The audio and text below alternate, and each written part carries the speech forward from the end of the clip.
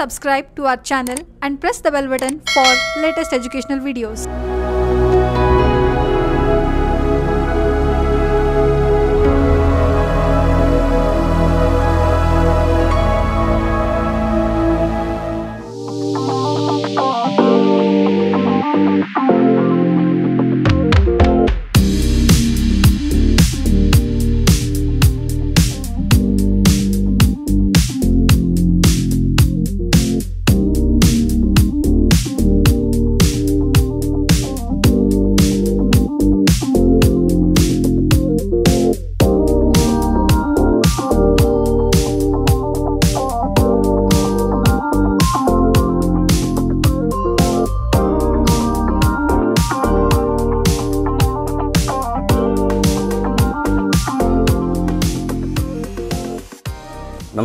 ವೀಕ್ಷಕರೇ, ನಮ್ಮ ಧಾರವಾಡದ ಪ್ರತಿಷ್ಠಿತ ಕ್ಲಾಸಿಕ್ ಗ್ರೂಪ್ಸ್ ಆಫ್ ಆರ್ಗನೈಸೇಷನ್ ವತಿಯಿಂದ ನೀಡುತ್ತಿರುವಂಥ ಕ್ಲಾಸಿಕ್ ಯೂಟ್ಯೂಬ್ ಎಜುಕೇಷನ್ ಚಾನಲ್ಗೆ ಸ್ವಾಗತ. ಇವತ್ತು ವಿಶೇಷವಾಗಿ ಒಂದು ಸಾಧಕರ ಸಂದರ್ಶನ ಕಾರ್ಯಕ್ರಮ. ಆ ಕಾರ್ಯಕ್ರಮಕ್ಕೆ ಮುಖ್ಯ ಅತಿಥಿಗಳಾಗಿ ಮತ್ತು ನಮ್ಮ ಪ್ರಸ್ತುತ ಈಗ ಧಾರವಾಡ ತಹಸೀಲ್ದಾರಾದಂಥ ಶ್ರೀಯುತ ಸಂತೋಷ್ ಬಿರಾದರ್ ಅವರು ಮೂಲತಃ ಬಿಜಾಪುರ ಜಿಲ್ಲೆಯ ಬಸವನ ಬಾಗೇವಾಡಿ ತಾಲೂಕಿನ ಅಂಗಡಿಗೇರಿ ಅನ್ನೋಂಥ ಒಂದು ಗ್ರಾಮದವರು ಇವತ್ತು ಪ್ರಸ್ತುತ ಧಾರವಾಡ ತಹಸೀಲ್ದಾರಾಗಿ ಸೇವೆ ಸಲ್ಲಿಸ್ತಾ ಇದ್ದಾರೆ. ಅವರು ಏನಂದರೆ ವಿಶೇಷವಾಗಿ ಇವತ್ತು ಸಾಧಕರ ಸಂದರ್ಶನ ಕಾರ್ಯಕ್ರಮಕ್ಕೆ ಆಗಮಿಸಿದ್ದಾರೆ. ಸೊ ತಮ್ಮ ನಮ್ಮ ಕ್ಲಾಸಿಕ್ ಸಂಸ್ಥೆಯ ಎಲ್ಲ ಸಿಬ್ಬಂದಿ ಪರವಾಗಿ ತಮಗೆ ನಮಸ್ಕಾರ ಸರ್. ನಮಸ್ಕಾರ ಸರ್ ತಮ್ಮ ಏನಂದರೆ ಇದೊಂದು ವಿಶೇಷವಾದಂಥ ಸಾಧಕರ ಸಂದರ್ಶನ ಕಾರ್ಯಕ್ರಮ. ನಿಮ್ಮಂಥ ಸಾಧಕರನ್ನು ಪರಿಚಯ ಮಾಡಿಸುವಂಥ ಒಂದು ನಮ್ಮದು ಭಾಗ್ಯ ಅಂತ ಹೇಳ್ಬೋದು. ನಿಮ್ಮಿಂದ ಎಷ್ಟೋ ಜನ ವಿದ್ಯಾರ್ಥಿಗಳು ಇನ್ಸ್ಪೈರ್ ಆಗಿದ್ದಾರೆ. ಸೊ ತಾವು ಏನಂದರೆ ಒಂದು ಬಿಜಾಪುರ ಜಿಲ್ಲೆಯ ಬ್ಯಾಕ್ವರ್ಡ್ ಏನಂದರೆ ಡಿಸ್ಟಿಕ್ ಅಂತ ಹೇಳ್ಬೋದು. ಸೊ ಹೀಗಾಗಿ ಆ ಒಂದು ಬಸವನ ಬಾಗೇವಾಡಿ ತಾಲೂಕಿನ ಅಂಗಡಿಗಿರಿ ಅಂತ ಒಂದು ಗ್ರಾಮದಿಂದ ಬಂದು ತಾವೆಲ್ಲ ಈ ಒಂದು ತಹಸೀಲ್ದಾರ್ ಹುದ್ದೆಯನ್ನು ಪಡ್ಕೊಂಡು presently you are serving in the Dharwad district tahsildar post but anyhow ತಾವು ಏನಂದರೆ ಈ ಒಂದು ಸಾಧನೆಯನ್ನು ಹಂಚ್ಕೋಬೇಕು ವಿದ್ಯಾರ್ಥಿಗಳ ಜೊತೆಗೆ. ತಮ್ಮದೆಲ್ಲ ಸ್ಕೂಲಿಂಗು ಮತ್ತು ತಮ್ಮದೆಲ್ಲ ಸ್ವಲ್ಪ ಏನು ಅಂತ ಹೇಳಿ ತಮಗೆ ಹೇಳ್ಬೋದಾ ಹೇಗೆ? ಧನ್ಯವಾದ ಸರ್. ನನಗೆ ಇವತ್ತು ಕರೆದು ಮಾತಾಡಲಿಕ್ಕೆ ಮತ್ತು ಸರ್. ನನ್ನ ಏನು ಸಾಧನೆಯನ್ನು ತಮ್ಮ ವಿದ್ಯಾರ್ಥಿಗಳಿಗೆ ಕೊಡಲಿಕ್ಕೆ ಹೇಳ್ಕೊಡ್ಲಿಕ್ಕೆ ಒಂದು ಅನುವು ಮಾಡಿಕೊಟ್ಟಿದ್ರಿ. ಕ್ಲಾಸಿಕ್ ಸಂಸ್ಥೆಗೆ ಮೊದಲನೇದಾಗಿ ಧನ್ಯವಾದಗಳನ್ನು ನಂದು ಸರ್ ದ ಬಿಜಾಪುರ ಜಿಲ್ಲೆ ಬಸವನಬಾಡಿ ತಾಲೂಕಿನ ಅಂಗಡಿಗೇರಿ ಅಂತ ಒಂದು ಬಹಳ ಚಿಕ್ಕ ಗ್ರಾಮ. ಹೌದಲ್ಲ?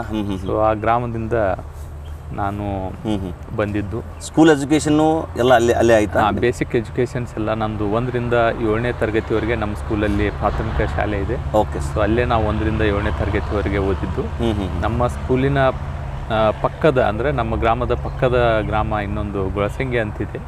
ಅದು ಅಲ್ಲಿಂದ ಐದು ಕಿಲೋಮೀಟರ್ ಅಂತರದಲ್ಲಿರುವಂಥ ಗ್ರಾಮ. ಓಕೆ ಅಲ್ಲಿ ಮಾಧ್ಯಮಿಕ ಶಿಕ್ಷಣ ಎಂಟು ಒಂಬತ್ತು ಹತ್ತು ಮುಗಿಸಿದ್ವಿ. ಓಕೆ ಮುಗಿದ ತಕ್ಷಣ ಪಿ ಯು ಸಿ ಸೈನ್ಸ್ ಮಾಡಿದೆ ನಾನು. P U science P U C science Bijapur government ಕಾಲೇಜ್ನಲ್ಲಿ ಪಿ ಯು ಕಾಲೇಜ್ನಲ್ಲಿ science first and second year ಮಾಡಿ ಓಕೆ ಸೈನ್ಸ್ ಅಲ್ಲಿ ಒಂದು ಉತ್ತಮ ಸಾಧನೆ ಮಾಡಿದೆ ನಾನು. ವೆರಿ ಗುಡ್ ಎಪ್ಪತ್ತೈದು ಪರ್ಸೆಂಟ್ ಅಗ್ರಿಗೇಟು ಮತ್ತು ಫಿಸಿಕ್ಸ್ ಕೆಮಿಸ್ಟ್ರಿ ಮತ್ತು ಬಯಾಲಜಿ ಎಂಬತ್ತೊಂಬತ್ತು ಆಯಿತು ವೆರಿ ಗುಡ್ ಒಂದರಲ್ಲಿ ಅಲ್ಲಿ ಒಂದು ಗ್ರಾಮೀಣ ಭಾಗದ ಸೈನ್ಸ್ನಲ್ಲಿ ಸ್ಕೋರ್ ಮಾಡಿದ್ರೆ ಅಂದರೆ ಒಳ್ಳೆ ಪರ್ಫಾರ್ಮೆನ್ಸ್ ನಂದು ಆಸೆ M B B S doctor ಆಗಬೇಕು ಅಂತ ಆ ಸಮಯದಲ್ಲಿ ಇತ್ತು ಆ ಟೈಮ್ದಲ್ಲಿ ಡಾಕ್ಟರ್ ಆಗಬೇಕು ಅಂತ ಸ್ಕೂಲ್ ಡೇಸ್ನಲ್ಲಿ ಪಿ ಯು ಓದುವಾಗ ಹೆಂಗೆಲ್ಲ.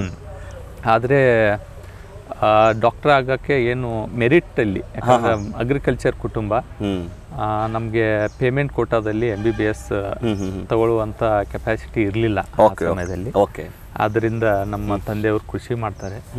ಸೊ ಕೃಷಿ ಆದಾಯದಲ್ಲಿ ಪೇಮೆಂಟ್ ತೊಗೊಳಕ್ಕೆ ಸಾಧ್ಯ ಆಗಂಗಿಲ್ಲ. ಓಕೆ ನಾನು M B B S government seat ಸಿಗದೇ ಇರೋದ್ರಿಂದ ನಾನು ವೆಟನರಿ ಎಂಬುವ ಡಿಗ್ರಿಯನ್ನು ಮುಂಚೆನೂ ಕೇಳಿದ್ದೆ. ಓಕೆ ಹೋದ್ರೆ ಅಲ್ಲಿ ಕೂಡ ಡಾಕ್ಟರ್ ಆಗುವಂತ ಅವಕಾಶ ಇದೆ ಅಂತ. ಇದೆ ಅಂತೇಳಿ ಹೌದು. ಸೊ ನಾನು ಆವಾಗ ಮೆರಿಟ್ ಕೋಟಾದಲ್ಲಿ ನನಗೆ ಬೀದರ್ ವೆಟನರಿ ಕಾಲೇಜ್ನಲ್ಲಿ ವೆಟನರಿ ಅಡ್ಮಿಷನ್ ಸಿಕ್ತು ಓಕೆ ನಾನು veterinary so bachelor of veterinary science bachelor of veterinary science and animal husbandry ಅಂತ ಹೇಳಿ ಓಕೆ ಬಿ ವಿ ಎಸ್ ಭಾಳ ಡಿಮಾಂಡ್ ಇದೆ ಅದಕ್ಕೆ ಯಾಕಂದ್ರೆ ನಂಬರ್ ಆಫ್ ಸೀಟ್ಸ್ ಬಹಳ ಕಡಿಮೆ ಇರ್ತದೆ. ಹೌದು ಹೌದು ಸೀಟ್ ಸಿಗೋದು ಅಷ್ಟು ಸರಳ ಇಲ್ಲ ಅಲ್ಲಿ.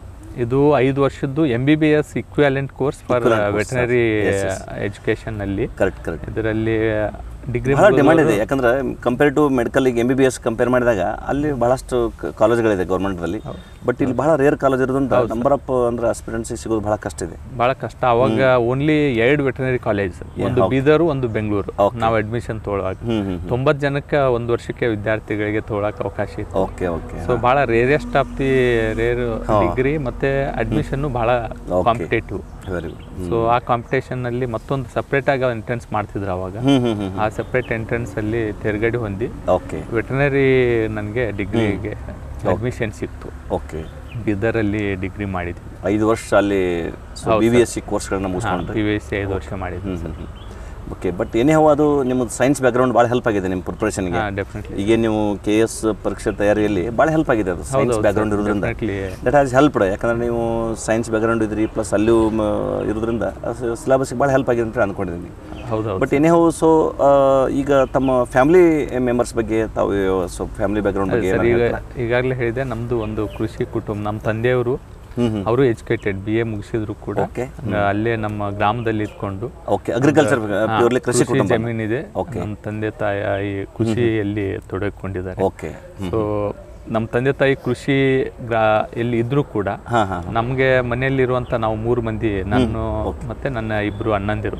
ಮೂರು ಮಂದಿಗೆ ಉತ್ತಮವಾದ ಒಂದು ಎಜುಕೇಶನ್ ಕೊಡಿಸಿದ್ದಾರೆ. ಓಕೆ ಮೂರು ಜನ ಮಕ್ಕಳು ಮೂರು ಮಂದಿ ಗಂಡು ಹೆಣ್ಮಕ್ಳು ಸಿಸ್ಟರ್ಸ್ ಸಿಸ್ಟರ್ಸ್ ಇಲ್ಲ. ಮೂರು ಮಂದಿ ಗಂಡ್ಮಕ್ಳು ಒಬ್ಬರು ಹಿರಿಯನ್ನ ಅವ್ರಿಗೆ ಬಿ ಇ ಬಿ ಮುಗಿದ್ಬಿಟ್ಟು ಅವರು ಒಂದು ಪ್ರತಿಷ್ಠಿತ ಕಂಪ್ನಿಯಲ್ಲಿ ಜಾಬ್ ಮಾಡ್ತಾರೆ ಒಳ್ಳೆ ಹುದ್ದೆಯಲ್ಲಿ ಕೆಲಸ ಮಾಡ್ತಾ ಇದ್ದಾರೆ. ಇನ್ನೊಬ್ಬರು agriculture B S C agriculture ಮುಗಿಸಿ ಎಂ ಎಸ್ ಸಿ ಅಗ್ರಿಕಲ್ಚರ್ ಮುಗಿಸಿ ವೆರಿ ಗುಡ್ ಬ್ಯಾಂಕ್ ಅಲ್ಲಿ ಒಂದು ಚೀಫ್ ಮ್ಯಾನೇಜರ್ ಆಗಿ ಕೆಲಸ ಹಾಂ. ನಾನು ಕೊನೆಯದವ. ನನಗೆ ಕೆಲಸ ಮಾಡ್ಲಿ ಅಂತ ಅವ್ರ ಆಶೆ ಅವ್ರ ಆಸೆ ಆಗಿತ್ತು. ಕೂಡ ನಾವು ಓದಿ ಒಂದು ಸಾಧನೆ ಮಾಡಬೇಕು ಅಂತ ಹೇಳ್ಬಿಟ್ಟು ನಾವು ಎಜುಕೇಷನ್ನಲ್ಲಿ ಯಾವತ್ತು ಒಂದು ನಿರಾಸಕ್ತಿ ತೋರಿಸ್ತೇನೆ ಓದಲಿಕ್ಕೆ ಪ್ರಯತ್ನ ಮಾಡಿದ್ವಿ. ನಿಮ್ಮ ತಂದೆಯವರು ಕೃಷಿ ಕುಟುಂಬದಾಗ ಇದ್ಕೊಂಡು ಮೂರು ಜನ ಮಕ್ಕಳಿಗೆ ಅಟ್ಲೀಸ್ಟ್ ಒಂದು ಒಳ್ಳೆ ಗ್ರಾಜುಯೇಷನ್ ಕೊಡಿಸಿದ್ರೆ ಮಕ್ಕಳಿಗೆ. ಬಹಳ ಖುಷಿ ವಿಷಯ. ಮತ್ತೊಂದಿಬ್ಬರು ಮಕ್ಕಳನ್ನ ಏನಾರು ಜಾಬ್ ಕಳಿಸಿಬಿಟ್ಟು ಒಬ್ಬರನ್ನ ಏನಾರು ನಮ್ಮ ಕೃಷಿ ಮಾಡ್ಲಿಕ್ಕೆ ಒಬ್ಬರನ್ನ ಇಟ್ಕೋಬೇಕು ಅನ್ನೋ ವಿಚಾರ ಇತ್ತು ಅವ್ರದ್ದು ಕನಸು 100% ಬಟ್ ನಿಮ್ಮ ಕನಸು ನಾನು ಡಾಕ್ಟರ್ ಆಗಬೇಕು. ಅಂತಿತ್ತು ಓಕೆ ಸೊ ಅದ ಇದರಿಂದ ಏನ ಒಂದು ಮೆಸೇಜ್ ಅಂದ್ರೆ ತಂದೆ ತಾಯಿ ಪ್ರೋತ್ಸಾಹ ಸಾಕಷ್ಟು ಇತ್ತು ನಾವು ಕಷ್ಟಪಟ್ಟು ಹೌದು. ಹಗಲೇಳು ಕೆಲಸ ಮಾಡಿದ್ರು ಕೂಡ ಮಕ್ಕಳು ಒಂದು ಎಜುಕೇಶನ್ ಕೊಡ್ಸೋಣ. ಅವ್ರ ಮುಂದೆ ಏನಾಗ್ತಾರೆ ಅವ್ರಿಗೆ ಬಿಟ್ಟಿದ್ದು ಓಕೆ ಓಕೆ ನಮ್ಮ ಕರ್ತವ್ಯ ಎಜುಕೇಶನ್ ಕೊಡಿಸ್ಬೇಕು ಅಂತ ಹೇಳ್ಬಿಟ್ಟು ಓಕೆ ಯಾರು ಪಾಲಕರು ಕೂಡ ಈ ಸಂದರ್ಶನ ನೋಡ್ತಾ ಇದ್ರೆ ಓಕೆ ಆ ರೀತಿ ಸ್ಫೂರ್ತಿದಾಯಕವಾಗಿ ಪಾಲಕರು ಕೂಡ ಮಕ್ಕಳಿಗೆ ಪ್ರೇರಣೆ ಆದ್ರೆ ಅವ್ರ- ಮಕ್ಕಳ ಸಾಧನೆ ಅವ್ರ ಮಾಡಿ ಪಾತ್ರ ಇದ್ದೇ ಇರ್ತದೆ. ಈಗ ನಿಮ್ಮ ಸಾಧನೆಯಲ್ಲಿ ಅವ್ರದ್ದು ಹಾರೈಕೆ ಅವ್ರ ಆಶೀರ್ವಾದ ಇದ್ದೇ ಇರ್ತದೆ. ನಿಮ್ಮ ತಂದೆಗಳು ಎಷ್ಟು ಕಷ್ಟಪಡ್ತಾ ಇದ್ದಾರೆ ಏನು ಮಾಡ್ತಾ ಇದ್ದಾರೆ ಅನ್ನೋ ಅಂಥ ಒಂದು ಪ್ರಜ್ಞೆ ಹಂಡ್ರೆಡ್ ಪರ್ಸೆಂಟ್ ನಮ್ಮನ್ನು ಎಚ್ಚರವಾಗಿ ಇರಿಸ್ತದೆ ಸಾಮಾನ್ಯವಾಗಿ. ಸೊ ಹೀಗಾಗಿ ಬಟ್ ತಾವೆಲ್ಲ ಈ ಡಾಕ್ಟರ್ ಕೋರ್ಸ್ ಮುಗಿಸ್ಕೊಂಡು B B S C course ಮುಗಿಸ್ಕೊಂಡು ತಾವು ಹೇಗೆ ಈ ಕೆ ಎಸ್ ಪರೀಕ್ಷೆ ಪ್ರಿಪ್ರೇಷನ್ ಮಾಡ್ಕೋಬೇಕು ಕೆ ಎಸ್ ಹೋಗ್ಬೇಕು ಅನ್ನೋಂಥ ವಿಚಾರ ಹೇಗೆ ಬಂತು ನಿಮಗೆ? ನನಗೆ ಡಿಗ್ರಿಯಲ್ಲಿ ವೆಟನರಿ ಓದುವಾಗ first year second year third year ಓದುವಾಗ ನನಗೆ ಹೆಚ್ಚಿನ concentration only veterinary degree completion ಬಗ್ಗೆ ಓಕೆ ಇತ್ತು. ಅವಾಗ ಅಷ್ಟೇ ಕನಸಿತ್ತು. ಡಿಗ್ರಿ ಕಂಪ್ಲೀಷನ್ ಬಗ್ಗೆ ಥರ್ಡ್ ಇಯರ್ ವರೆಗೆ ಇದು five years course okay so usually third year ಆದಮೇಲೆ ನಮ್ಮದು ಫೋರ್ತ್ ಮತ್ತು ಫೈನಲ್ ಇಯರ್ ಮುಂದಿನ ಫ್ಯೂಚರ್ ಬಗ್ಗೆ ಎಲ್ಲ ವಿದ್ಯಾರ್ಥಿಗಳು ಓಕೆ ಒಂದು ಪ್ಲಾನಿಂಗ್ ಸ್ಟಾರ್ಟ್ ಮಾಡ್ತಾರೆ. ಓಕೆ ಸೊ ಒಂದಿಷ್ಟು ಜನ ಪಿ ಜಿ ಕೋರ್ಸಸ್ ಮಾಡಲಿಕ್ಕೆ ಆಲ್ ಇಂಡಿಯಾ ಎಂಟ್ರೆನ್ಸ್ ಎಕ್ಸಾಮ್ ಇರ್ತದೆ. ಹೌದು ಹೌದು. ಒಂದಿಷ್ಟು ಮಂದಿ ಆಲ್ ಇಂಡಿಯಾ ಸೈಂಟಿಸ್ಟ್ ಆಗಲಿಕ್ಕೆ ಎಕ್ಸಾಮ್ ತಗೋತಾರೆ. ಪಿ ಜಿ ಮಾಡ್ತಾರೆ ಪಿ ಎಚ್ ಡಿ ಮಾಡ್ತಾರೆ ರಿಸರ್ಚ್ ಲೈನಲ್ಲಿ ಹೋಗ್ತಾರೆ. ಇಲ್ಲ ಜಿ ಆರ್ ಇ ಅಂತ ಎಕ್ಸಾಮ್ ಬರೆದ್ಬಿಟ್ಟು ಬೇರೆ ದೇಶದಲ್ಲಿ ಓದ್ಲಿಕ್ಕೆ ಪ್ರತಿಷ್ಠಿತ ಯೂನಿವರ್ಸಿಟೀಸ್ ಅಲ್ಲಿ ಓದ್ಲಿಕ್ಕೆ ಪ್ಲಾನ್ ಮಾಡಕ್ ಸ್ಟಾರ್ಟ್ ಮಾಡ್ತಾರೆ. ಸೊ ನನಗೆ ಥರ್ಡ್ ಇಯರ್ ಫೋರ್ತ್ ಇಯರ್ ಬಂದ್ಮೇಲೆ ಸ್ವಲ್ಪ ಆಸೆ ಸ್ಟಾರ್ಟ್ ಆಯ್ತು. ನನ್ನ ಸೀನಿಯರ್ಸ್ ಸಾಕಷ್ಟು ಜನ ನಮ್ಮ veterinary seniors I A S ಆಗಿ ತಾವು ಕೇಳಿರ್ಬೋದು. ನಮ್ಮ ಡಾಕ್ಟರ್ ಸುರೇಶ್ ಇಟ್ನಾ ಸರ್. ಸುರೇಶ್ ಅವರು ಕೆ ಎಸ್ ಕೆ ಅವರು ಅವರು ವೆಟರ್ನರಿ ಡಾಕ್ಟರ್ ಅವರು ಒಂದು ಕೆ ಎಸ್ ಎಕ್ಸಾಮ್ಗೆ ತಯಾರಿ ಸ್ಟಾರ್ಟ್ ಮಾಡ್ತಾ ಇದ್ರು ಕೆ ಎಸ್ ಐ ಎಸ್ ಅವ್ರಕ್ಕಿಂತ ಸೀನಿಯರ್ ಒಂದಿಬ್ರು ಡಾಕ್ಟರ್ ವಿಜಯ್ ಮಾಂತೇಶ್ ಅಂತ ಮೊನ್ನೆ ಐ ಎಸ್ ಕನ್ಫರ್ಮ್ ಆಯ್ತು. ಅವರು ಎಲ್ಲ ಐ ಎಸ್ ಕೆ ಎಸ್ಗೆ preparation doctor Praveen G L ಅಂತಿದ್ರು. ಅವ್ರಕ್ಕಿಂತ ಸೀನಿಯರ್ ಬಸವರಾಜ್ ಹಿರೇಮಠ ಅಂತ ಅವ್ರದ್ದು ಐ ಎಸ್ ಆಗಿತ್ತು. ಎರಡು ಸರಿ ಬರೆದ್ರು. ಒಮ್ಮೆ first time I S ಆಗಿರ್ಲಿಲ್ಲ second time got I S so ಅವ್ರದ್ದೆಲ್ಲ ಒಂದು ಕೇಳಿದ್ಮೇಲೆ ಹ್ಞೂ ಹ್ಞೂ ಹ್ಞೂ ನಾವು ನಮ್ಮ ಸೀನಿಯರು ಗೈಡ್ಲೈನ್ಸ್ ಅಲ್ಲಿ ನಾವು ಯಾಕೆ ತಯಾರಿ ಮಾಡಬಾರ್ದು ಅಂತ ನಮಗೆ ಫೋರ್ತ್ ಇಯರ್ ಅಲ್ಲಿ ಸ್ಟಾರ್ಟ್ ಆಯಿತು. ನಾನು ಕಾಂಪಿಟೇಟಿವ್ ಎಕ್ಸಾಮ್ ತಗೋಬಹುದು ಅಂತ ಹೇಳ್ಬಿಟ್ಟು. ಬಟ್ ಅದು ಅಟ್ಮಾಸ್ಫಿಯರ್ ನಿಮ್ಮ ಕಾಲೇಜಲ್ಲಿ ಇರುವಂಥ ಅಟ್ಮಾಸ್ಫಿಯರು ನಿಮ್ಮ ಸೀನಿಯರ್ಸ್ ಈಗಾಗಲೇ ಆ ಸಿವಿಲ್ ಸರ್ವಿಸ್ ಓದ್ತಾ ಇದ್ದಾರೆ some are preparing for K some are preparing for I S examination ಆ ಅಟ್ಮಾಸ್ಫಿಯರ್ ನಿಮ್ಗೊಂದು ಮನಸ್ಸಿನಲ್ಲಿ ಅದು ಯೋಚನೆ ಬಂದೇ ಬರ್ತದೆ. ನಾನು ಯಾಕೆ ಮಾಡಬಾರ್ದು? ನಮ್ಮ ತಂದೆ ತಾಯಿಗಳು ಕಷ್ಟಪಡ್ತಾ ಇದ್ದಾರೆ ನಾನು ಯಾಕೆ ಈ ಒಂದು ಸರ್ವಿಸ್ಗೆ ಹೋಗಬಾರ್ದು ಅನ್ನೋಂಥ ವಿಚಾರ ಬಂದಿದೆ. ಸೊ ಅದು ಮುಗಿಸೋ ನಂತರ ತಾವು ಹೇಗೆ ಪ್ರಿಪ್ರೇಷನ್ ಈಗ ಇನ್ನೊಂದು ನಿಮ್ದು ಎರಡು ಸಾವಿರದ ಹದಿನಾಲ್ಕರ batch two thousand fourteen batch K S examination ಅಲ್ಲಿ ಸೆಲೆಕ್ಟ್ ಆಗಿದ್ದೀರಿ. ನಂದು ಇನ್ನೊಂದು ಯಾಕೆ ಇದು ನನಗೆ ಸ್ಟಾರ್ಟ್ ಆಯ್ತು ನಾನು ಆಲ್ರೆಡಿ ಹೇಳಿದೆ ನಂದು ಅಂಗಡಿಗೇರಿ ಅಂತ ಒಂದು ಬಹಳ ಚಿಕ್ಕ ಗ್ರಾಮ. ಚಿಕ್ಕ ಗ್ರಾಮ ಚಿಕ್ಕ ಗ್ರಾಮ ಇದ್ರೂ ಕೂಡ ಹೌದು. ಎಜುಕೇಶನ್ನಲ್ಲಿ ಸಾಕಷ್ಟು ಸಾಧನೆ ಮಾಡಿರುವಂತ ನಮ್ಮ ಗ್ರಾಮದಲ್ಲಿ ಇದ್ದಾರೆ. ಹೌದಲ್ಲ? ಡಾಕ್ಟರ್ ಆರ್ ಬಿ ಪಾಟೀಲ್ ಅಂತ ತಾವು ಕೇಳಿ ಪದ್ಮಶ್ರೀ ಪ್ರಶಸ್ತಿ ವಿಜೇತರು. ಹೌದು. ಎಫ್ ಆರ್ ಸಿ ಎಸ್ ಅವಾಗಿನ ಟೈಮ್ದಲ್ಲಿ ಆಗಿದ್ದು. ಫೇಮಸ್ ಸರ್ಜನ್ ನಾರ್ತ್ ಕರ್ನಾಟಕ ಇಡೀ ದೇಶದಲ್ಲಿ ಅವರ ಹೆಸರು ಸಾಕಷ್ಟು. ಅವರು ಡಾಕ್ಟರ್ ಅವರಂಗೆ ಸಾಕಷ್ಟು ಜನ ಡಾಕ್ಟರ್ ಆಗಿದ್ದಾರೆ. ಇಂಜಿನಿಯರ್ ಆಗ್ಯಾರ. ಆದ್ರೆ ಕಾಂಪಿಟೇಟಿವ್ ಎಕ್ಸಾಮ್ ಅಲ್ಲಿ ಹೋಗ್ಬಿಟ್ಟು ಕೆ ಎಸ್ ಐ ಎಸ್ ನಮ್ಮ ಗ್ರಾಮದಿಂದ? ಆಗಿರ್ಲಿಲ್ಲ. ಅದು ಒಂದು ನನಗಿತ್ತು. ನಮ್ಮ ಗ್ರಾಮದಲ್ಲಿ ಎಲ್ಲಾ ಹುದ್ದೆಗಳನ್ನ ಅಲಂಕರಿಸಿದವರು ಇದ್ದಾರೆ. ನಾನೊಬ್ನು ಆಗಿ ಒಂದು ಆ ಏನು ಒಂದು ಕೊರಗು ಇತ್ತು ನಮ್ಮ ಊರಿಂದ ಒಬ್ರು ಕೆ ಎಸ್ ಐ ಎಸ್ ಅಧಿಕಾರಿ ಆಗ್ಬೇಕು ಅಂತ ಇತ್ತು. ಹೌದು ಹೌದು. ಅದನ್ನ ಪೂರ್ಣ ಮಾಡಬೇಕು ಅಂತ ನನಗೆ ಒಂದು ಆಸೆ ಆ ಯೋಚನೆ ಬ್ರಿಂಗ್ಸ್ ಟು ದಿಸ್ ಲೆವೆಲ್ ಅಲ್ಲ. ಎಸ್ ಮತ್ತೊಂದು ನನಗೆ ಬಾಲ್ಯದಿಂದ ಒಂದು ಆಸಕ್ತಿ ಇತ್ತು. ದಿನಲ್ಲೂ ನಿಮ್ ದಿನಪತ್ರಿಕೆಗಳನ್ನ ಓದೋದು ನ್ಯೂಸ್ ನೋಡೋದು ನ್ಯೂಸ್ ನೋಡು ಆಗು ಹೋಗ್ಕೊಳ್ಳೋದು ಓಕೆ. ಸೊ ಈ ಆಸಕ್ತಿ ನನಗೆ ಮುಂಚೆಯಿಂದನೇ ಇತ್ತು. Okay. ಚಿಕ್ಕ ಹೈಸ್ಕೂಲಲ್ಲಿ ಇದ್ರು ಕೂಡ ನಮ್ದು ಟೀಚರ್ಸ್ ಪ್ರೈಮರಿ ಸ್ಕೂಲಲ್ಲಿ ಟೀಚರ್ಸ್ ಪೇಪರ್ ನ್ಯೂಸ್ ಪೇಪರ್ ತೊಗೊಂಡ್ಬರ್ತಿದ್ರು. ನ್ಯೂಸ್ ಪೇಪರ್ಸ್ ಊರಲ್ಲಿ ನ್ಯೂಸ್ ಪೇಪರ್ ಬರ್ತಿಲ್ಲ ಅವ್ರು ತಗೊಂಡ್ ಬಂದು ನ್ಯೂಸ್ ಪೇಪರ್ ತೊಗೊಂಡು? ಓದ್ತಿದ್ವಿ. ಸೊ ಬಟ್ ಏನೇ ಹೋ ಸೊ ತಾವೆಲ್ಲ ಈ ಮಟ್ಟಕ್ಕೆ ಬಂದಿದ್ರಿ ಆಮೇಲೆ ಈಗ ಪ್ರಿಪ್ರೇಷನ್ ಎಲ್ಲ ಹೇಗೆ ಫಿಲ್ಮ್ಸ್ ಹೇಗೆ ಮಾಡಿದ್ರಿ? ಮೇನ್ಸ್ ಹೇಗೆ ಮಾಡ್ಕೊಂಡ್ರಿ? ಆ ಎಕ್ಸಾಮ್ಸ್ ಬಗ್ಗೆ ಸ್ವಲ್ಪ ತಮ್ಮದು ಏನಾದ್ರು ವಿದ್ಯಾರ್ಥಿಗಳಿಗೆ ಓಕೆ ಹೆಲ್ಪ್ ಆಗ್ತದೆ. ಆಮೇಲೆ ಅವಾಗೆಲ್ಲ ಕೆ ಎಸ್ ಮುಖ್ಯ ಪರೀಕ್ಷೆಗೆ ಆಪ್ಷನಲ್ ಇತ್ತಲ್ಲ ಅವಾಗ? ಐಚ್ಛಿಕ ವಿಷಯ ಇತ್ತು. ಓಕೆ ಸೊ ಫಿಲ್ಮ್ಸ್ ಬಗ್ಗೆ ತಯಾರಿ ಹೇಗೆ ಮಾಡ್ಕೊಂಡ್ರಿ? ಆಮೇಲೆ ಮುಖ್ಯ ಪರೀಕ್ಷೆ ಬಗ್ಗೆ ಹೇಗೆ ಇದು ಮಾಡ್ಕೊಂಡ್ರಿ? ಸೊ ತಾವೆಲ್ಲ ಸ್ವಲ್ಪ ತಾವು ಹೇಳಿದಂಗೆ ಕೇಳ್ದಂಗೆ ಸರ್ ಆಲ್ರೆಡಿ ಫೋರ್ತ್ ಇಯರ್ ಅನ್ವರ್ಟ್ ನಾವು ಪ್ಲಾ ಒಂದು ಸ್ವಲ್ಪ ಸ್ಲೈಟ್ ಆಗಿ ಪ್ಲಾನಿಂಗ್ ಸ್ಟಾರ್ಟ್ ಆಯಿತು. ಓಕೆ ಬಟ್ ಅವಾಗಿನಿಂದ ಯಾವುದೋ ಒಂದು ಇದು ಇಟ್ಕೊಂಡು ಓದಬೇಕು ಅಂತಲ್ಲ ಕಾಂಪಿಟೇಟಿವ್ಗೆ ಒಂದು ಸ್ವಲ್ಪ ಆ್ಯಂಗಲ್ ಇಟ್ಕೊಂಡು ಪ್ರಿಪ್ರೇಷನ್ ಸ್ಟಾರ್ಟ್ ಮಾಡಿದ್ವಿ. ಡಿಗ್ರಿ ಮುಗೀತು ನಮ್ಮದು ಓಕೆ ಟೂ ತೌಸಂಡ್ ಸಿಕ್ಸಲ್ಲಿ ಡಿಗ್ರಿ ಮುಗಿದ ತಕ್ಷಣ ನಾನು ಇದಕ್ಕೆ ಹೋದೆ ಒಂದು ಅಲ್ಲಿ ನಮ್ಗೆ ಬೀದರ್ಗೆ ಹೈದರಾಬಾದ್ ನಿಯರ್ ನಿಯರ್ ಅಂತ ಹೇಳಿ ಹಾ ಹೈದರಾಬಾದ್ಗೆ ಹೋಗ್ಬಿಟ್ಟು ಒಂದು ಸ್ವಲ್ಪ ಸ್ಟಡಿ ಒಂದು ಕೋಚಿಂಗ್ ಇನ್ಸ್ಟಿಟ್ಯೂಟ್ ಜಾಯಿನ್ ಆದೆ ನಾನು. ಅಲ್ಲಿ ಓಕೆ ಆ, ಮುಂಡತ್ನಂ ರೆಡ್ಡಿ ಅಂತ ಹೇಳಿ ಅವರು ಆಂಥ್ರಾಪಲಜಿ ಹೇಳಿಕೆ ಬಹಳಷ್ಟು ಫೇಮಸ್ ಇದ್ರು. ಹೌದೌದು. ಸೊ ನಾನು ವೆಟನರಿ ಅವಾಗ ಐ ಎ ಎಸ್ಗೆ ನಮ್ಮದು ಓರಿಯೆಂಟೇಷನ್ ಆಗಿತ್ತು. ಐ ಎ ಎಸ್ ಅಲ್ಲಿ ಎರಡು ಐಚ್ಛಿಕ ವಿಷಯಗಳನ್ನು ತಗೋಬೇಕಾಗ್ತಿತ್ತು. ಒಂದು ಏನು ಪ್ಲ್ಯಾನ್ ಮಾಡಿದೆ? ಆಲ್ರೆಡಿ ನಾನು ವೆಟನರಿ ಐದು ವರ್ಷ ಓದಿದ್ರಿಂದ ವೆಟರ್ನರಿಲಿ ವೆಟನರಿಲಿ ಒಂದು ಉತ್ತಮವಾದ ಒಂದು ಅಂಕಗಳನ್ನ ನಾನು ತೆಗೆದುಕೊಂಡಿದ್ದೆ. ವೆಟನರಿ ಸೈನ್ಸ್ನ ಒಂದು ಐಚ್ಛಿಕ ವಿಷಯ ಮತ್ತೆ ಆಂಥ್ರಾಪಲಜಿ ಅದು ಬಹಳ ಇಂಟ್ರೆಸ್ಟಿಂಗ್ ಸಬ್ಜೆಕ್ಟ್ ಇದೆ ಮತ್ತೆ ಇಂಟ್ರೆಸ್ಟಿಂಗ್ ಇದೆ ಅಂತ. ಆಂಥ್ರಾಪ್ಲಜಿ ಒಂದು ಐಚ್ಛಿಕ ವಿಷಯ ಜೊತೆ ಜನರಲ್ ಸ್ಟಡೀಸ್ ಓಕೆ ಸೊ ಹೈದರಾಬಾದಲ್ಲಿ ನಾನು ಒಂದು ಇದಕ್ಕೆ ಕೋಚಿಂಗ್ ಜಾಯಿನ್ ಆಗಿ ಒಂದು ವರ್ಷ ಮುಗಿಸಿದೆ ಅಲ್ಲಿ ಕೋಚಿಂಗ್ ಆಲ್ಮೋಸ್ಟ್ ಎರಡು ಸಾವಿರದ ಏಳು ಎಂಟರವರೆಗೆ ನಾನು ಅಕ್ಟೋಬರ್ವರೆಗೆ ನಾನು ಹೈದರಾಬಾದಲ್ಲಿ ಹ್ಞೂ ಆಂಥ್ರಾಪ್ಲಜಿ ಮತ್ತು ಜನರಲ್ ಸ್ಟಡೀಸ್ ಫಿಲಿಮ್ಸ್ ಮತ್ತು ಮೇನ್ಸಿಗೆ ಕೋಚಿಂಗ್ ಮುಗಿಸಿದೆ. ಓಕೆ ಅಷ್ಟರಲ್ಲಿ ನಮ್ಮದು ವೆಟನರಿ ನಾನು ಡಿಗ್ರಿ ಮುಗಿಸಿದ್ದೆ. ಸ್ಟೇಟ್ ಗೌರ್ಮೆಂಟಲ್ಲಿ ವೆಟನರಿ ಆಫೀಸರ್ ಅಂತ ಅಪಾಯಿಂಟ್ಮೆಂಟ್ ಆಗಿತ್ತು. ಓಕೆ ಸೊ ನಾವು ಒಂದು ಫ್ರೆಂಡ್ ಸರ್ಕಲ್ ಓಕೆ ಗ್ರೂಪ್ ಮಾಡಿಕೊಂಡು ಬೆಳಗಾವಿಯಲ್ಲಿ ಪೋಸ್ಟಿಂಗ್ ತೊಗೊಂಡಿವಿ. ಓಕೆ ಬೆಳಗಾವಿ ಸಿಟಿ ಇದರಲ್ಲಿ. ತೊಗೊಂಡು ಜೊತೆಗೆ ನಾವು ಕೆಲಸ ಮಾಡೋದ್ರ ಜೊತೆಗೆ ಯಾಕೆ ಆ ಟೈಮಲ್ಲಿ ನನಗೆ ಕೆಲಸಕ್ಕೆ ಸೇರೋದು ಬಹಳ ಅವಶ್ಯಕತೆ ಅವು ಆ ಟೈಮ್ನಲ್ಲಿ ಮತ್ತೆ ಯಾಕಂದ್ರೆ ಫ್ಯಾಮಿಲಿಗೆ ಸಪೋರ್ಟ್ ಆಗ್ತದೆ ನಿಮ್ದು ಎಕ್ಸ್ಪೆಂಡಿಚರ್ಸ್ಗೂ ಹೆಲ್ಪ್ ಆಗ್ತದೆ. ಎಕ್ಸ್ಪೆಂಡಿಚರ್ಗೆ ಹೆಲ್ಪ್ ಆಗ್ತದೆ ಅಂತ. ನೌಕರಿಗೆ ಸೇರ್ಬೇಕು ಸೇರುವಂತ ಅನಿವಾರ್ಯತೆ ಇತ್ತು. ಓಕೆ ಕಾರಣ ನಾನು ಜಾಯಿನ್ ಆಗಿಬಿಟ್ಟು ನಾವು ಒಂದು ಗ್ರೂಪ್ ಸ್ಟಡಿ ಗ್ರೂಪ್ ಮಾಡ್ಕೊಂಡಿವಿ. ನಾಲ್ಕು ಜನದ ಒಂದು ನಾಲ್ಕು ಜನ ಕೂಡ್ಕೊಂಡು ಫ್ರೆಂಡ್ಸ್ ಕೂಡ್ಕೊಂಡು ಇದು ಮಾಡ್ಕೊಂಡು. ಕೂಡ್ಕೊಂಡು ಪ್ರಿಪ್ರೇಷನ್ನು ಪ್ಲಸ್ ನಾವು ರೂಟೀನ್ ಆಗಿ ನಮ್ಮ ಕೆಲಸವನ್ನು ನಿರ್ವಹಿಸುವಂತ ಎರಡು ಕೆಲಸ ಒಟ್ಟಿಗೆ ತೆಗೆದು ಜಾಬ್ ಮಾಡ್ಕೊಂತಾನೆ ಇದನ್ನ ಪ್ರಿಪರೇಷನ್ ಸ್ಟಾರ್ಟ್ ಮಾಡ್ಕೊಂಡ್ರಿ. ಅವರೆಲ್ಲ ಡಾಕ್ಟರ್ಸ್ ಇದ್ರ? ಅವರು ಅವರು ಡಾಕ್ಟರ್ಸ್ ಸರ್ Veterinary ಡಾಕ್ಟರ್ಸ್ ಎಲ್ಲ ಡಾಕ್ಟರ್ಸ್ ಅವರು ನಾಲ್ಕು ಜನ ಸ್ನೇಹಿತರು ಕೂಡ್ಕೊಂಡು ಓಕೆ. ಡಾಕ್ಟರ್ ಸಂತೋಷ್ ಆದಿಮನಿ ಅಂತ ಅವರದು ಐ ಪಿ ಎಸ್ ಆಗಿ ತಮಿಳುನಾಡು ತಮಿಳ್ನಾಡು ಹ್ಞೂ ಹ್ಞೂ ಈಗ on deputation to government of Karnataka ಇದ್ದಾರೆ. ಓಕೆ ಸೊ ಇನ್ನೊಬ್ರು ಡಾಕ್ಟರ್ ವಿಕ್ರಮ್ ಆಮ್ಟಿ ಅಂತ ಅವರು D C P okay. Belgaum police commissioner ಕೆಲಸ ಮಾಡ್ತಾರೆ. ಇನ್ನೊಬ್ರು ಡಾಕ್ಟರ್ ಶಿವಾನಂದ್ ಮುಗ್ದಮ್ ನನ್ನ ರೂಮೇಟ್ಸ್ ಅವರು. ಬಹಳ ಆತ್ಮೀಯರು. ಅವ್ರದ್ದು ಡಿ ಸಿ ಕಮರ್ಷಿಯಲ್ ಟ್ಯಾಕ್ಸ್ ಬೆಂಗಳೂರಲ್ಲಿ ಕೆಲಸ ಮಾಡ್ತಾರೆ. ನಾನು ಆಲ್ಮೋಸ್ಟ್ ನಾಲ್ಕು ಜನ ನಾಲ್ಕು ಜನ. ತೇರ್ಗಡೆ ನೀವು ನಾಲ್ಕು ಜನ ಸ್ನೇಹಿತರಲ್ಲಿ ನೀವು ಒಬ್ಬರು ತಹಸೀಲ್ದಾರು ಒಬ್ಬರು ಡಿ ಸಿ ಪಿ ಮತ್ತೊಬ್ಬರು ಡಿ ಸಿ ಕಮರ್ಷಿಯಲ್ ಟ್ಯಾಕ್ಸ್ ಮತ್ತೆ ಇನ್ನೊಬ್ರು ಐ ಪಿ ಎಸ್ ಮಾಡಿಕೊಂಡು ಅವ್ರು ಏನು presently maybe S P I think S P ಇರ್ಬೋದು. ಓಕೆ ಬಟ್ ಏನೇ ಹವ ನೋಡ್ರಿ ನಾಲ್ಕು ಜನ ಸ್ನೇಹಿತರು ಕೂಡ್ಕೊಂಡು ಒಂದು ಸಾಧನೆ ಅಲ್ಲ ಇದೊಂದು ವಿಶೇಷವಾದಂಥ ಫ್ರೆಂಡ್ಶಿಪ್ ಸೊ ಸಂಘದ ಫಲ ಅಂತ ಹೇಳ್ತೀವಿ ನಾವು. ಯಾರ ಸ್ನೇಹಿತರು ಹೆಂಗಿರ್ತಾರೆ ಅದ್ರ ಮೇಲೆ? ನಮ್ದು ಒಳ್ಳೆ ಲೈಕ್ ಮೈಂಡೆಡ್ ಟೀಮ್ ಇತ್ತಂದ್ರೆ ಎಲ್ಲರೂ ಒಂದೇ ಹಂತದಲ್ಲಿ ಅವರು ರೀಚ್ ಆಗ್ತಾರೆ. ಏನೀಗ ವಿದ್ಯಾರ್ಥಿಗಳಿಗೂ ಏನು ಹೇಳೋದು ಅಂದ್ರೆ ಆ ಥರ ಒಂದು ಟೀಮ್ ಮಾಡ್ಕೊಂಡು ಒಳ್ಳೆ ವಿಚಾರ ಇದೆ ಒಂದು ರೈಟ್ ಡೈರೆಕ್ಷನ್ ಅಲ್ಲಿ ಎಫರ್ಟ್ ಹಾಕಿ ಫಲ ಹಂಡ್ರೆಡ್ ಪರ್ಸೆಂಟ್ ಒಳ್ಳೆ- ವಿಚಾರ ಅಂತ ಹಂಗ ಆ ಇದರಲ್ಲಿ ಯೋಚನೆ ಮಾಡಿ. ಅಂದ್ರೆ ಒಬ್ಬರೇ ಎಫರ್ಟ್ ಮಾಡ್ಬೋದು but along with the friends ಅದೊಂಥರ ಏನಂದ್ರೆ ಫ್ರೆಂಡ್ಸ್ ಜೊತೆಗೆ ಸ್ಟಡಿ ಮಾಡೋದ್ರಿಂದ ಒಂದು ಸ್ವಲ್ಪ ಭಾಳ ವಿಶೇಷವಾಗಿರ್ತಾರೆ ಕೆಲವೊಬ್ರು. ಎಕ್ಸಾಕ್ಟ್ಲಿ ಸೊ ಯಾಕಂದ್ರೆ ಒಂದ ಯಾಕಂದ್ರೆ ಈಗ ಒಂದು ಒಂದು ಮಾತಿದೆ. One book is more than ಏನಂದ್ರೆ ಹಂಡ್ರೆಡ್ ಫ್ರೆಂಡ್ಸ್ ಅಂತ ಹೇಳ್ತೀವಿ ನಾವು. ಹೌದಲ್ರಿ? And one ಇನ್ನೊಂದಿದ್ರೆ one friend is more than a library ಅಂತೇಳಿ. One good friend is more than a library ಅಂತೇಳಿ. ಭಾಳಷ್ಟು ಹೇಳೋದ್ರಲ್ಲಿ ಅರ್ಥ ಇದೆ. ಯಾಕಂದ್ರೆ ಯಾಕಂದ್ರೆ ಒಬ್ಬನ ಸ್ನೇಹಿತರ ಹತ್ರ ಎಲ್ಲಾನು ಇರ್ತಾವೆ.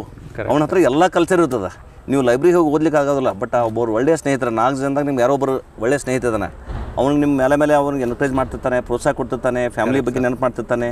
ನೀನು ಇಷ್ಟೆಲ್ಲ ಒಳ್ಳೆ ನಿನ್ನ ಸಾಮರ್ಥ್ಯ ಇದೆಯಪ್ಪ ಅಂತೇಳಿ encourage ಮಾಡ್ತಿರ್ತಾನೆ. But there is no single book which gives hundred percent information ಒಳ್ಳೆಯ ಸ್ನೇಹಿತರಿಂದ ಒಂದು ಸಾಧನೆ ಮಾಡಬಹುದು ಅನ್ನೋಂಥ ಒಂದು ವಿಚಾರ. ಬಟ್ ಆ ಸ್ನೇಹಿತರಿಂದ ನೀವು ಸಾಕಷ್ಟು ಸ್ಫೂರ್ತಿ ಪಡ್ಕೊಂಡಿದ್ದೀರಿ. ಅವರು ಎಲ್ಲ ಸಾಧನೆ ಮಾಡಿದ್ದಾರೆ. ಅವರು ನೀವು ಈ ಹಂತಕ್ಕೆ ಬಂದಿದ್ದೀರಿ. ಓಕೆ ಸೊ ಏನು ಈ ಮುಖ್ಯ ಪರೀಕ್ಷೆ ನೀವು ಐಚ್ಛಿಕ ವಿಷಯ ಯಾವ ತೊಗೊಂಡಿದ್ರಿ ಯಾವಾಗ? ಕೆ ಎಸ್ ಮುಖ್ಯ ಪರೀಕ್ಷೆ. ಆಂಥ್ರಾಪಲಜಿ ಒಂದು ನಾನು ಆಲ್ರೆಡಿ ಆಂಥ್ರಾಪಲಜಿ ಒಂದು ತಗೊಂಡಿದ್ರಿ, ಆಮೇಲೆ ಇನ್ನೊಂದು ಟೂ ತೌಸಂಡ್ ಟೆನ್ ಬ್ಯಾಚಲ್ಲಿ ಭಾಳಷ್ಟು ನಾವು ಸೀರಿಯಸ್ ಆಗಿ ಎಫರ್ಟ್ ಹಾಕಿ ಓಕೆ ಎಲ್ಲರೂ ಬರ್ತೀವಿ ನಾವು ನಾಲ್ಕು ಜನ ಫ್ರೆಂಡ್ಸ್ ಬರ್ದಾಗೆ. ಓಕೆ ಟೆನ್ನಲ್ಲಿ ನಾನು ಐಚ್ಛಿಕ ವಿಷಯ ಆಂಥ್ರಾಪಲಜಿ ತೊಗೊಂಡಿದ್ದೆ ಮನೋಶಾಸ್ತ್ರ. ಮತ್ತೆ ಒಂದು ಅನಿಮಲ್ ಹಸ್ಬೆಂಡ್ರಿ ತೊಗೊಂಡಿದ್ದೆ. ಓಕೆ ಜೆಂಡರ್ ಸ್ಟಡೀಸು ಹಳೆ ಪ್ಯಾಟರ್ನ್ದಲ್ಲಿ ಆಸ್ ನಿಮ್ಗೆ ಅದು ರಿಲೇಟೆಡ್ ಸಬ್ಜೆಕ್ಟ್ ಅಲ್ಲ ಮತ್ತು ನಿಮ್ದು ಅದೇ ಸ್ಪೆಷಲೈಸೇಷನ್ ತೌಸಂಡ್ ಏಟ್ ಹಂಡ್ರೆಡ್ ಸ್ಕೋರ್ಗೆ ನಾವು ಮೇನ್ಸ್ ಬರಿಬೇಕಾಗ್ತಿತ್ತು ಸರ್. ಓಕೆ. ಒಳ್ಳೆ ವಿಚಾರ. ಸೊ ತಮ್ಮದು ಮುಖ್ಯ ಕೆ ಎಸ್ ಮುಖ್ಯ ಪರೀಕ್ಷೆಯಲ್ಲಿ ಒಟ್ಟಾರೆ ಸ್ಕೋರ್ ಎಷ್ಟಾಗಿತ್ತು ತಮ್ಮದು? ಅಪ್ರಾಕ್ಸಿಮೇಟ್ಲಿ ನೆನಪಿದ್ದೇನೆ ಏನಾದರೂ? ಟೂ ತೌಸಂಡ್ ಟೆನ್ ಬ್ಯಾಚಲ್ಲಿ ನಾನು nine forty eight score so 2010 batch ಅದು ಚೆನ್ನಾಗಿದೆ ಸ್ಕೋರು ಆಲ್ಮೋಸ್ಟ್ ಒಂದು ಟಾಪ್ ಫಿಫ್ಟೀನ್ ಟ್ವೆಂಟಿ ಒಳಗಡೆ ನಮ್ಮ ರ್ಯಾಂಕ್ ಇತ್ತು. ವೆರಿ ಗುಡ್ ಅವಾಗ ಸಿಲೆಕ್ಟ್ ಆಗಿತ್ತು. ಓಕೆ ಸೊ ಮೊದಲೊಂದು ನಂದು ತಾಲೂಕಾ ಸಮಾಜ ಕಲ್ಯಾಣ ಅಧಿಕಾರಿ ಫಸ್ಟ್ ರ್ಯಾಂಕ್ ಸೆಲೆಕ್ಟ್ ಆಗಿತ್ತು. ಅವಾಗ ಸೆಲೆಕ್ಟ್ ಆಗಿದೆ ಆ, ನಮ್ದು ಉಳಿದ ಫ್ರೆಂಡ್ಸು ಅದೇ ಬ್ಯಾಚ್ ಅಲ್ಲಿ ಸಿಲೆಕ್ಟ್ ಆಗಿದ್ರು. S C C T D Y S P very good ನಂದು taluk social first rank but ನಾನು ಡಿಲೇ ಆಯಿತು ಜಾಯ್ನ್ ಆಗಲಿಲ್ಲ. ಆಮೇಲೆ ಅದು ರಿವೈಸ್ಡ್ ಆಗಿಬಿಟ್ಟು ಸ್ವಲ್ಪ ನಮ್ದು ಅಂಕಗಳ ಸರಿಯಾಗಿರಲಿಲ್ಲ ರಿವೈಸ್ಡ್ ಆಗಿ ಡೆಪ್ಟಿ ಸೂಪ್ರಿಡೆಂಟ್ ಆಫ್ ಎಕ್ಸೈಸ್ ನಂದು ಟೆನ್ ಬ್ಯಾಚಲ್ಲಿ ಸೆಲೆಕ್ಟ್ ಆಯ್ತು. ಓಕೆ ಅದು ಆಗಿ ಆರ್ಡರ್ ಬರುಕ ಮತ್ತೆ ನಾನು ಎಕ್ಸಾಮ್ ಬರೆದ್ಬಿಟ್ಟು ಆಲ್ಮೋಸ್ಟ್ ಈ ತಹಸೀಲ್ದಾರ್ ಹುದ್ದೆ ಆಯ್ಕೆ ಆಗಿರುವಂಥ ಪಟ್ಟಿಯಲ್ಲಿ ಇತ್ತು. ಹಿಂಗಾಗಿ ನಾನು ಜಾಯ್ನ್ ಆಗಲಿ very good so K S ಮುಖ್ಯ ಪರೀಕ್ಷೆಯಲ್ಲಿ ಒಟ್ಟಾರೆ ಇಂಗ್ಲಿಷ್ ಮೀಡಿಯಂನಲ್ಲಿ ತಾವೆಲ್ಲ ಬರೆದಿದ್ದಾರೆ? ಇಂಗ್ಲಿಷ್ ಮೀಡಿಯಂ ಮುಖ್ಯ ಪರೀಕ್ಷೆನ ಕೆ ಎಸ್ ಮುಖ್ಯ ಪರೀಕ್ಷೆನ ಪರೀಕ್ಷೆ ತಾವು ಇಂಗ್ಲಿಷ್ ಮಾಧ್ಯಮದಲ್ಲಿ ಎಷ್ಟೋ ಜನ ವಿದ್ಯಾರ್ಥಿ ಕನ್ನಡ ಮಾಧ್ಯಮದಲ್ಲೂ ಬರೆದಿದ್ದಾರೆ. ಬಟ್ ಏನೇ ಹೋಗಿ ನೀವು ಸೈನ್ಸ್ ಬ್ಯಾಕ್ಗ್ರೌಂಡ್ ಮತ್ತು ಇಂಗ್ಲಿಷ್ ಮೀಡಿಯಂ ಇರೋದ್ರಿಂದ ಸೊ ನಿಮಗೆ ಇಂಗ್ಲೀಷ್ನಲ್ಲೇ ತಾವು ಮೋರ್ ಕಂಫರ್ಟೇಬಲ್ ಅಂದ್ಕೊಂಡು ತಾವು ಮುಖ್ಯ ಪರೀಕ್ಷೆನ ಬರೆದಿದ್ರಿ ಇಂಗ್ಲೀಷ್ನಲ್ಲಿ ಬರೆದಿದ್ರಿ ಸೊ ತಾವು ಏನಂದ್ರೆ ಈಗ ಫಿಲ್ಮ್ಸು ಮತ್ತು ಮೇನ್ಸು ಆಮೇಲೆ ಇಂಟರ್ವ್ಯೂ ಸೊ ಈ ಮೂರು ಏನಂದ್ರೆ ಒಟ್ಟಾರೆ ಏನು ಅನುಭವ ಆಯಿತು? ತಮಗೆ ಆಲ್ಮೋಸ್ಟ್ ಒಂದು ಎರಡು ವರ್ಷ ತಾವೇನೋ ಪ್ರಿಪ್ರೇಷನ್ ಮಾಡ್ಕೊಂಡ್ರೆ ಹೇಗೆ? ಹಾಂ ಎರಡು ಸಾವಿರದ ನಾನು ಏಳು ಎಂಡಿಗೆ ಆಲ್ಮೋಸ್ಟ್ ನಾವು ಮೇನ್ಸ್ ಟೀಮಲ್ಲಿ okay. U P S C plus ಇದಕ್ಕೆ ತಯಾರಿ ಸ್ಟಾರ್ಟ್ ಮಾಡಿದ್ವಿ okay. But K S notification ಆಗುತ್ತೆ ಅಂತ ಗೊತ್ತಿದಾಗ ನಾವು ಹೆಚ್ಚು ಇಲ್ಲಿ ಒತ್ತು ಕೊಟ್ಟಿವಿ. ಕರ್ನಾಟಕದಲ್ಲಿ ಇರ್ಬೋದು ಇಲ್ಲೇ ಸೇವೆ ಸಲ್ಲಿಸ್ಬೋದು ಅಂತ ಹೇಳ್ಬಿಟ್ಟು. ಓಕೆ. ಡೆಡಿಕೇಟೆಡ್ ಆಗಿ ಕೆ ಪಿ ಎಸ್ ಸಿಗೆ ಒಂದು ಒಂದೂವರೆ ವರ್ಷ ಭಾಳಷ್ಟು ನಾವು ಸ್ಟಡಿ ಮಾಡಿಬಿಟ್ಟು ತಯಾರಿ ಮಾಡಿದ್ದೀವಿ ಫಿಲಿಮ್ಸಲ್ಲಿ ನಾನು ಉತ್ತಮವಾದ ಅಂಕಗಳನ್ನೇ ಪಡೆದಿದ್ದೀನಿ. ಮೂರು ಎಷ್ಟು ಸಲ films ಬರೆದಿದ್ದೀವಿ? Ten batch eleven batch fourteen batch clear ಆಗಿದೆ ಫಿಲಿಮ್ಸು ಸೊ ಸಮಗ್ರವಾಗಿ ಇವರು ಮಾಹಿತಿಯನ್ನು ಪಡ್ಕೋಬೇಕು ಓದಬೇಕು. ಎಲ್ಲ ವಿಷಯಗಳನ್ನು ಅರ್ಥೈಸ್ಕೊಂಡು ನಾವು ಅದನ್ನು ಪ್ರಚಲಿತ ಘಟನೆಗಳಿಗೆ ಕರೆಂಟ್ ಅಫೇರ್ಸ್ ಆಳವಾಗಿ ನಾವು ವಿಷಯಗಳನ್ನ ತಿಳ್ಕೊಂಡಾಗ. ಫಿಲಿಮ್ಸ್ ಅಲ್ಲಿ ಪಾಸ್ ಆಗ್ಬೋದು. ಬಹಳಷ್ಟು ವಿದ್ಯಾರ್ಥಿಗಳು ಏನ್ಕೊಂಡಿರ್ತಾರೆ ನಾವು ಫ್ಯಾಕ್ಚುಯಲ್ಸ್ ನೆನ್ಪಿಡ್ಕೊಂಡಿರೋದ್ರಿಂದ ಇನ್ನೊಂದು ಹೌದು. ಇದು ಮಾಡೋದ್ರಿಂದ ನಾವು ಫಿಲಿಮ್ಸ್ ಪಾಸ್ ಆಗ್ಬೋದು ಅಂತ. ಫ್ಯಾಕ್ಚುಯಲ್ಸ್ ನೆನ್ಪಿಟ್ಕೋದ್ರ ಜೊತೆಗೆ ಹೌದು. ಕನ್ಸೆಪ್ಟ್ಸನ್ನ ಆಳವಾಗಿ ತಿಳ್ಕೊಬೇಕು. ಎಲ್ಲ ವಿಷಯನ ವೈಡ್ ಆಗಿ ಕವರ್ ಮಾಡಬೇಕು. ನಾವು ಟೆನ್ ಬರೆಯೋಕ್ಕಿಂತ ಮತ್ತೆ ಈಗ ಬರೆಯೋತಕ್ಕಂಥ ಸ್ಪರ್ಧಾ ಕಾಂಪಿಟೇಷನ್ ಕಾಂಪಿಟೇಷನ್ ಜಾಸ್ತಿ ಆಗಿದೆ. ಒಂದು ಲಕ್ಷ ಎಂಬತ್ತು ಸಾವಿರ ಅರವತ್ತು ಸಾವಿರ ಮಾತ್ರ ಅಪ್ಲಿಕೇಶನ್ಸ್ ಹಾಕ್ತಿದ್ರು. ಈಗ ಮೂರು ಲಕ್ಷ ನಾಲ್ಕು ಲಕ್ಷ ಹೌದು ಯು ಪಿ ಎಸ್ ಸಿ ಹೋದ್ರೆ ಹದಿನೈದು ಈಗ. ಅಪ್ಲಿಕೇಶನ್ಸ್ ಬರ್ತದೆ. ಹೌದು. There is more competition. So ನಾವು ಕಾಂಪಿಟೇಟಿವ್ ಆಗ್ಬೇಕಾಗ್ತದೆ. ನಾವು ಆಳವಾಗಿ ವಿಷಯಗಳನ್ನ ತಿಳಿದುಕೊಂಡು ಬಟ್ ಫಿಲ್ಮ್ಸ್ಗೆ ಏನಂದ್ರೆ ಮಲ್ಟಿಪಲ್ ಚಾಯ್ಸ್ ಕ್ವಶನ್ಸ್ ಪ್ರಾಕ್ಟೀಸ್ ಮಾಡೋದು ಬಹಳ ಅವಶ್ಯಕತೆ ಇದೆ. ಓಕೆ ಸೊ ಪ್ರಾಕ್ಟೀಸ್ ಅಂತ ಹೇಳ್ತೀವಿ. ಫಿಲ್ಮ್ಸ್ಗೆ ಏನು ಬೇಕು? ಮಲ್ಟಿಪಲ್ ಚಾಯ್ಸ್ ಕ್ವಶನ್ಸ್ ಪ್ರಾಕ್ಟೀಸ್ ಮಾಡ್ಕೊಂಡು ವಿದ್ಯಾರ್ಥಿಗಳು ಹೆಚ್ಚಿಗೆ ಕ್ಲಿಕ್ ಆಗ್ತಾರೆ ಅಂತ ಅನ್ಕೊಂಡು ಎಷ್ಟೋ ಜನ ಪ್ರಾಕ್ಟೀಸ್ ಮಾಡೋದಿಲ್ಲ. ನಮಗೆಲ್ಲ ಗೊತ್ತಿದೆ ಅಂತ ಅನ್ಕೊಂಡಿರ್ತಾರೆ ಹಳೆ ಕ್ವಶನ್ ಪೇಪರ್ಸ್ ಅನ್ನ previous model model question papers ಅನ್ನ ಸಾಲ್ವ್ ಮಾಡೋದ್ರಿಂದ ಮತ್ತೆ ಅವ್ರ conference level series of tests conduct ಮಾಡ್ತಾರೆ. ಹೌದು ನಮ್ಮ ಇನ್ಸ್ಟಿಟ್ಯೂಟ್ ಆಗಿರ್ಬೋದು ಇನ್ಸ್ಟಿಟ್ಯೂಷನ್ ಅಲ್ಲಿ ಕಂಡಕ್ಟ್ ಮಾಡ್ತಾರೆ. ಹೌದು ಹೌದು ಆ ಟೆಸ್ಟ್ಗೆ ಅಟೆಂಡ್ ಆಗೋದ್ರಿಂದ ಹೌದು. ದೇರ್ ಕಾನ್ಫಿಡೆನ್ಸ್ ಲೆವೆಲ್ ಇನ್ಕ್ರೀಸ್ ಆಗ್ತದೆ ಅಂಡ್ ದೇರ್ ಇಂಟರ್ನಲ್ ಇವ್ಯಾಲ್ಯೂಯೇಷನ್ ಆಗ್ತದೆ. For exam correct correct where I am and where I should go ಅಂತ. ಹೇಳ್ಬಿಟ್ಟು. ನಾವು ರೆಗ್ಯುಲರ್ ಆಗಿ ಈಗ every Sunday model test conduct ಮಾಡ್ತಾ ಇದ್ದೀವಿ. ಸಂಸ್ಥೆಯಲ್ಲಿ ಕ್ಲಾಸಿಕ್ ಸಂಸ್ಥೆಯಲ್ಲಿ presently we have been conducting model test on every Sunday ಅದು ಪಿ ಸಿ ಇರ್ಬೋದು ಪಿ ಎಸ್ ಐ ಇರ್ಬೋದು ಕೆ ಎಸ್ ಇರ್ಬೋದು ಐ ಎಸ್ ಎಲ್ಲ ಎಕ್ಸಾಮಿನೇಷನ್ ಕಂಡಕ್ಟ್ ಮಾಡ್ತಾ ಇದ್ದೀವಿ ಆ ಎಕ್ಸಾಮಿನೇಷನ್ ಬರೋದ್ರಿಂದ ವಿದ್ಯಾರ್ಥಿಗಳಿಗೆ ಕಾನ್ಫಿಡೆನ್ಸ್ ಲೆವೆಲ್ ಹೆಚ್ಚಿಗೆ ಆಗ್ತದೆ. ಮತ್ತೆ ಎಷ್ಟೋ ಜನ ಇಲ್ಲ ನನಗೆಲ್ಲ ಗೊತ್ತಿದೆ ಅಂತೇಳಿ ಟೆಸ್ಟ್ ಬರೋದಿಲ್ಲ. ಅದೇ ಅದು ಡೈರೆಕ್ಟ್ ಆಗಿ ಟೆಸ್ಟ್ ಹೋಗೋ ಹೋದಾಗ ಏನಾಗ್ತದೆ. ಯಾವ ಟೈಪ್ ಆಫ್ ಕ್ವಶನ್ಸ್ ಬರ್ತಾವ ಗೊತ್ತಾಗಲ್ಲ. ಬಟ್ ನೀವು ಮಾಡಲ್ ಟೆಸ್ಟ್ ಅಲ್ಲಿ ಬರೋದು ಯಾವ ಟೈಪ್ ಗೊತ್ತಿರಂಗಿಲ್ಲ. ಅವ್ರು ಹಂಡ್ರೆಡ್ ಮೆಂಬರ್ಸ್ ಅಲ್ಲಿ ಟಾಪ್ ಆದ್ರೆ ಸಾಕು ಅಟ್ ಲೀಸ್ಟ್ ಒಂದು ಕ್ಲಾಸ್ನಲ್ಲಿ ಟಾಪರ್ ಇದ್ರೆ ಸಾಕು. ಅವ್ನು ನೆಕ್ಸ್ಟ್ ಒಂದು ತಿಂಗಳಲ್ಲಿ ಮತ್ತೆ ಅಗೇನ್ ಒಂದು ಹಂಡ್ರೆಡ್ ಫೈವ್ ಹಂಡ್ರೆಡ್ ಮೆಂಬರ್ಸ್ನಲ್ಲಿ ಸೊ ಹೀಗಾಗಿ ಭಾಳಷ್ಟು ಜನ ವಿದ್ಯಾರ್ಥಿಗಳು ಮಾಡೆಲ್ ಟೆಸ್ಟ್ನಲ್ಲಿ ಬರೆದು ಒಂದು ಏನಂದರೆ ಸಾಧನೆ ಮಾಡಿದ್ದಾರೆ. ಮಾಡೆಲ್ ಟೆಸ್ಟ್ ಬರಿಬೋದು ಹಿಂದಿನ ಕ್ವಶನ್ ಪೇಪರ್ಸು ಓಕೆ ಭಾಳಷ್ಟು ಮಾಡೆಲ್ ಕ್ವಶನ್ ಪೇಪರ್ಸ್ ಅಟೆಂಡ್ ಮತ್ತೆ ಈಗ ಎಸ್ಪೆಷಲಿ ಈಗ ಸದ್ಯದ ಪ್ಯಾಟರ್ನ್ ಅಲ್ಲಿ ಮೆಂಟಲ್ ಎಬಿಲಿಟಿ ಓಕೆ ಅದು ಬಹಳ ಇಂಪಾರ್ಟೆನ್ಸ್. ತಗೋತದೆ ಮತ್ತು ಸ್ಕೋರಿಂಗ್ ಪಾರ್ಟ್ ಅದು scoring point scoring part general mental ability marks miss ಆಗೋದೇ ಇಲ್ಲ. ಮಿಸ್ ಆಗಂಗಿಲ್ಲ. ಓಕೆ ಮೆಂಟಲ್ ಎಬಿಲಿಟಿ ಎಸ್ಪೆಷಲಿ ಒಂದು it may consume more time more time but ಅದು ನಾವು ಟ್ರಿಕ್ಸ್ ಕರೆಕ್ಟ್ ಆಗಿ ಬೇಗನೆ ಅದಕ್ಕೆ ನಾವು ಆನ್ಸರ್ ಅನ್ನ ಹುಡ್ಕೋಬಹುದು ಮತ್ತೆ ಎಕ್ಸಾಕ್ಟ್ಲಿ ಹೌದೌದು. ಅದು ಆನ್ಸರ್ಗೆ ನಾವು ನೆಗೆಟಿವ್ ಅಲ್ಲಿ ಹೋಗುವಂತ ಇರಂಗಿಲ್ಲ. ಹೌದು ಕರೆಕ್ಟ್ ಆಗಿ ಅವರು ಅದನ್ನ ಇದು ಮಾಡಿಬಿಟ್ಟು ಸ್ಕೋರಿಂಗ್ ಪಾರ್ಟ್ ಇದೆ. ಆ ಪಾರ್ಟನ್ನು ಚೆನ್ನಾಗಿ ವಿದ್ಯಾರ್ಥಿಗಳು ಅದು ಯಾವಾಗ ಬರ್ತದೆ ಅಂದ್ರೆ ವೆನ್ ದೇ ಪ್ರಾಕ್ಟೀಸ್ ಮೋರ್ ಹೌದೌದು. ಹೌದು ಎಸ್ಪೆಷಲಿ ಸ್ವಲ್ಪ ಆರ್ಟ್ಸ್ ವಿದ್ಯಾರ್ಥಿಗಳಿಗೆ ಜನರಲ್ ಮೆಂಟಲ್ ಬಿಟ್ಟು ಸ್ವಲ್ಪ ಟಫ್ ಅನಿಸ್ಬೋದು. ಬಟ್ ಚೆನ್ನಾಗಿ ಅರ್ಥ ಮಾಡ್ಕೊಂಡು ಒಳ್ಳೆ ಒಳ್ಳೆಯ ಸ್ಕಿಲ್ಸ್ ಹೇಳ್ಕೊಟ್ರೆ ಸಾಕು ಮಾಡ್ತಾರೆ.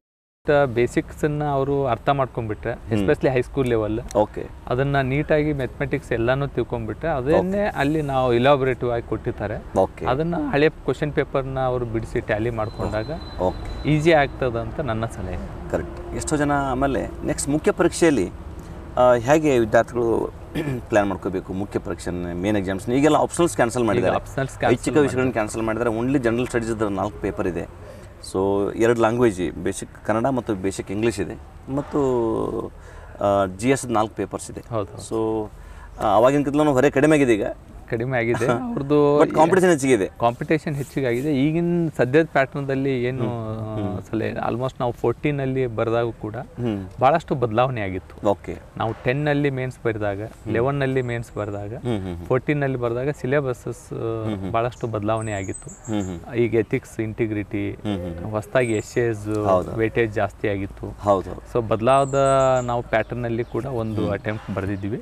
ಸದ್ಯಕ್ಕೆ ಮೇನ್ಸ್ಗೆ ನೀವು ಹೇಳ್ದಂಗೆ ಐಸ್ ಆಪ್ಷನಲ್ ತೆಗೆದುಬಿಟ್ಟಿದ್ದಾರೆ ಸರ್ ಈಗ. ಆಪ್ಷನಲ್ಸ್ ಬಿಟ್ಟಿದ್ದಾರೆ ಜಿ ಎಸ್ ಜಿ ಎಸ್ ಅಲ್ಲಿ ಸೈನ್ಸು ಹೌದು. ಎನ್ವೈರ್ಮೆಂಟು ಓಕೆ ಮತ್ತೆ ಅದೇ ಆರ್ಟ್ಸ್ ವಿಷಯಗಳು ಬರ್ತದ social studies history studies political science so arts ಜೊತೆಗೆ ಹೆಚ್ಚು ಸೈನ್ಸು ಮತ್ತೆ ಎಥಿಕ್ಸ್ ಅಂಡ್ ಇಂಟಿಗ್ರಿಟಿ ಸೇರಿಸಿದ್ದಾರೆ. ಎಸ್ ಎಸ್ ಸಪರೇಟ್ ಇದೆ. ಸೊ ಇವೆಲ್ಲವೂ ಕೂಡ ಬಹಳಷ್ಟು ನೀಟಾಗಿ ಒಂದು ಪ್ಯಾಟರ್ನ್ ಮಾಡಿ ಕೊಟ್ಟಿದ್ದಾರೆ. On par with U P S C correct correct ಮತ್ತು ಪ್ರತಿಯೊಂದು ಇದರಲ್ಲಿ ನಾವು ಫಿಲಿಮ್ಸಿಗೆ ಏನು ಇವರು ಪ್ರಿಪ್ರೇಷನ್ ಮಾಡಿರ್ತಾರೆ ಸ್ಟ್ರಾಟಜಿ ಒಂದು ಸ್ವಲ್ಪ ಬದಲಾವಣೆ ಮಾಡಿಕೊಂಡು ಓಕೆ ಓಕೆ. ಇದು ಮೇನ್ಸಲ್ಲಿ ಯಾವ ರೀತಿ ಅದಕ್ಕೆ ಒಂದು ಒಂದು ಲೆಸನ್ ಓದ್ಕೊಂಡು ಅದ್ರ ಮೇಲೆ ಬರೆಯೋದನ್ನ ಪ್ರಾಕ್ಟೀಸ್ Exactly. ಹ್ಯಾಂಡ್ ರೈಟಿಂಗ್ ಚೆನ್ನಾಗಿರಬೇಕು beautiful handwriting plus presentation skill develop ಮಾಡ್ಕೊಂಡ್ರೆ ಅದು ಅನುಕೂಲ ಆಗ್ತದೆ. ಮತ್ತು ಸೈನ್ಸ್ ಅಭ್ಯರ್ಥಿಗಳಿಗೆ ಸೈನ್ಸ್ ವಿಷಯಗಳಲ್ಲಿ ಚೆನ್ನಾಗಿ ಸ್ಕೋರ್ ಮಾಡೋಂಥ ಇದೆ ಅವ್ರದ್ದು ಸ್ಟ್ರೆಂತ್ ಯಾವುದು ನೋಡ್ಕೊಂಡ್ಬಿಟ್ಟು ಹೌದು. ಆ ಸ್ಟ್ರೆಂತ್ ಇರೋದನ್ನ hundred percent they have to get yes yes ಆ ಸ್ಟ್ರೆಂತ್ ಇರೋದ್ರಲ್ಲಿ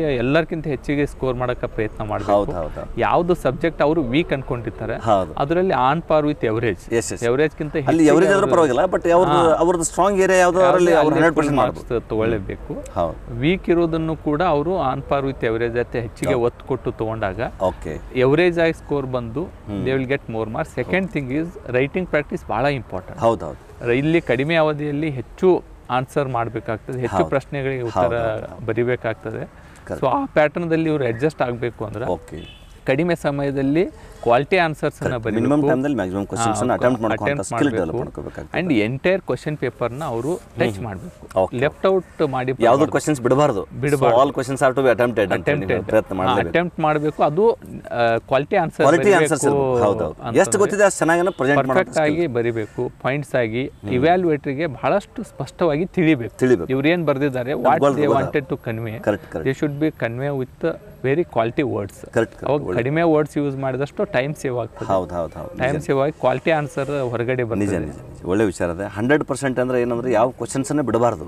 ಬಿಡಬಾರ್ದು. ಅಟೆಂಪ್ಟ್ ಮಾಡ್ಕೋಬೇಕು ಅನ್ನೋಂಥ ವಿಚಾರ. ಮತ್ತು ಯಾರಿಗೂ ಹಂಡ್ರೆಡ್ ಪರ್ಸೆಂಟ್ ಮಾಸ್ಟರ್ ಇರೋದಿಲ್ಲ. ಎಕ್ಸಾಕ್ಟ್ಲಿ ಹೌದಲ್ರಿ? No one has master in all the subjects ಎಲ್ಲ ವಿಷಯಗಳು ಎಲ್ಲ ಹಿಡಿದು ಸಿಗಲ್ಲ. They will not expect that ಹೌದು ಹೌದು ಅವ್ರ ಬೇಸಿಕ್ಸ್ ಅನ್ನ ಇವರು ಚೆನ್ನಾಗಿ ತಿಳ್ಕೊಂಡಿದ್ದಾರೆ ಆ ವಿಷಯದ ಬಗ್ಗೆ ಇವರು ಯಾಜ್ ಅಡ್ಮಿನಿಸ್ಟ್ರೇಟರ್ ಆಗಿ ನಾಳೆ ಕುತ್ಕೊಂಡಾಗೆ ಅವರು ಅದನ್ನ ಯಾವ ರೀತಿ ಅನಲೈಸ್ ಮಾಡಿದ್ದಾರೆ ಈ ವಿಷಯನ ಹೆಂಗೆ ತಿಳ್ಕೊಂಡಿದ್ದಾರೆ ಅನ್ನೋದನ್ನ ಟೆಸ್ಟ್ ಮಾಡ್ತಾರೆ ಹೊರತಾಗಿ ಅವ್ರದ್ದು ಪಿ ಎಚ್ ಡಿ ಆಗಿದೋ ಇದರಲ್ಲಿ ಇವರು ಡಾಕ್ಟರ್ ಅದಾರೋ ಇಂಜಿನಿಯರ್ ಅದಾರೋ ಆ ಮಾಹಿತಿ ಯಾವುದೇ ಗ್ರಾಜುಯೇಷನ್ ಇರಲಿ. ಅವಶ್ಯಕತೆ ಇರಲಿ ಹೆಂಗೆ ತಿಳ್ಕೊಂಡಿದ್ದಾರೆ ಮತ್ತೆ ಹೆಂಗೆ ಪ್ರೆಸೆಂಟೇಷನ್ ಮಾಡಿದ್ದಾರೆ. ಎಕ್ಸಾಕ್ಟ್ಲಿ ಸೊ ಪರ್ಸನಾಲಿಟಿ ಇದ್ದಂಗೆ ಅದು. ಮತ್ತೆ ಈಗ ಏನಾಗಿದೆ ಬಹಳಷ್ಟು answer including social science political science current context ಏನಿರ್ತದೆ ಪ್ರೆಸೆಂಟ್ ಸಿನಿಯರು ಏನಿರ್ತದೆ ಅದಕ್ಕೆ ರಿಲೇಟ್ ಮಾಡಿಬಿಟ್ಟು ಅವರು ಕ್ವಶನ್ಸ್ ಕೇಳ್ತಾರೆ. ನಾವು ಬರೆಯುವಾಗ ಅದಕ್ಕೆ ರಿಲೇಟ್ ಮಾಡಿ ಓಕೆ ಕರೆಕ್ಟ್ ಕರೆಕ್ಟ್ ನಿಜ ಬಟ್ ಏನೇ ಹೋ ಏನಂದರೆ ಈ ಒಂದು ಮುಖ್ಯ ಪರೀಕ್ಷೆಯಲ್ಲಿ ಚೆನ್ನಾಗಿ ಸ್ಕೋರ್ ಮಾಡಿ ಆಮೇಲೆ ಇಂಟರ್ವ್ಯೂ ಎಲ್ಲ ಫೇಸ್ ಮಾಡಿದ್ರಿ.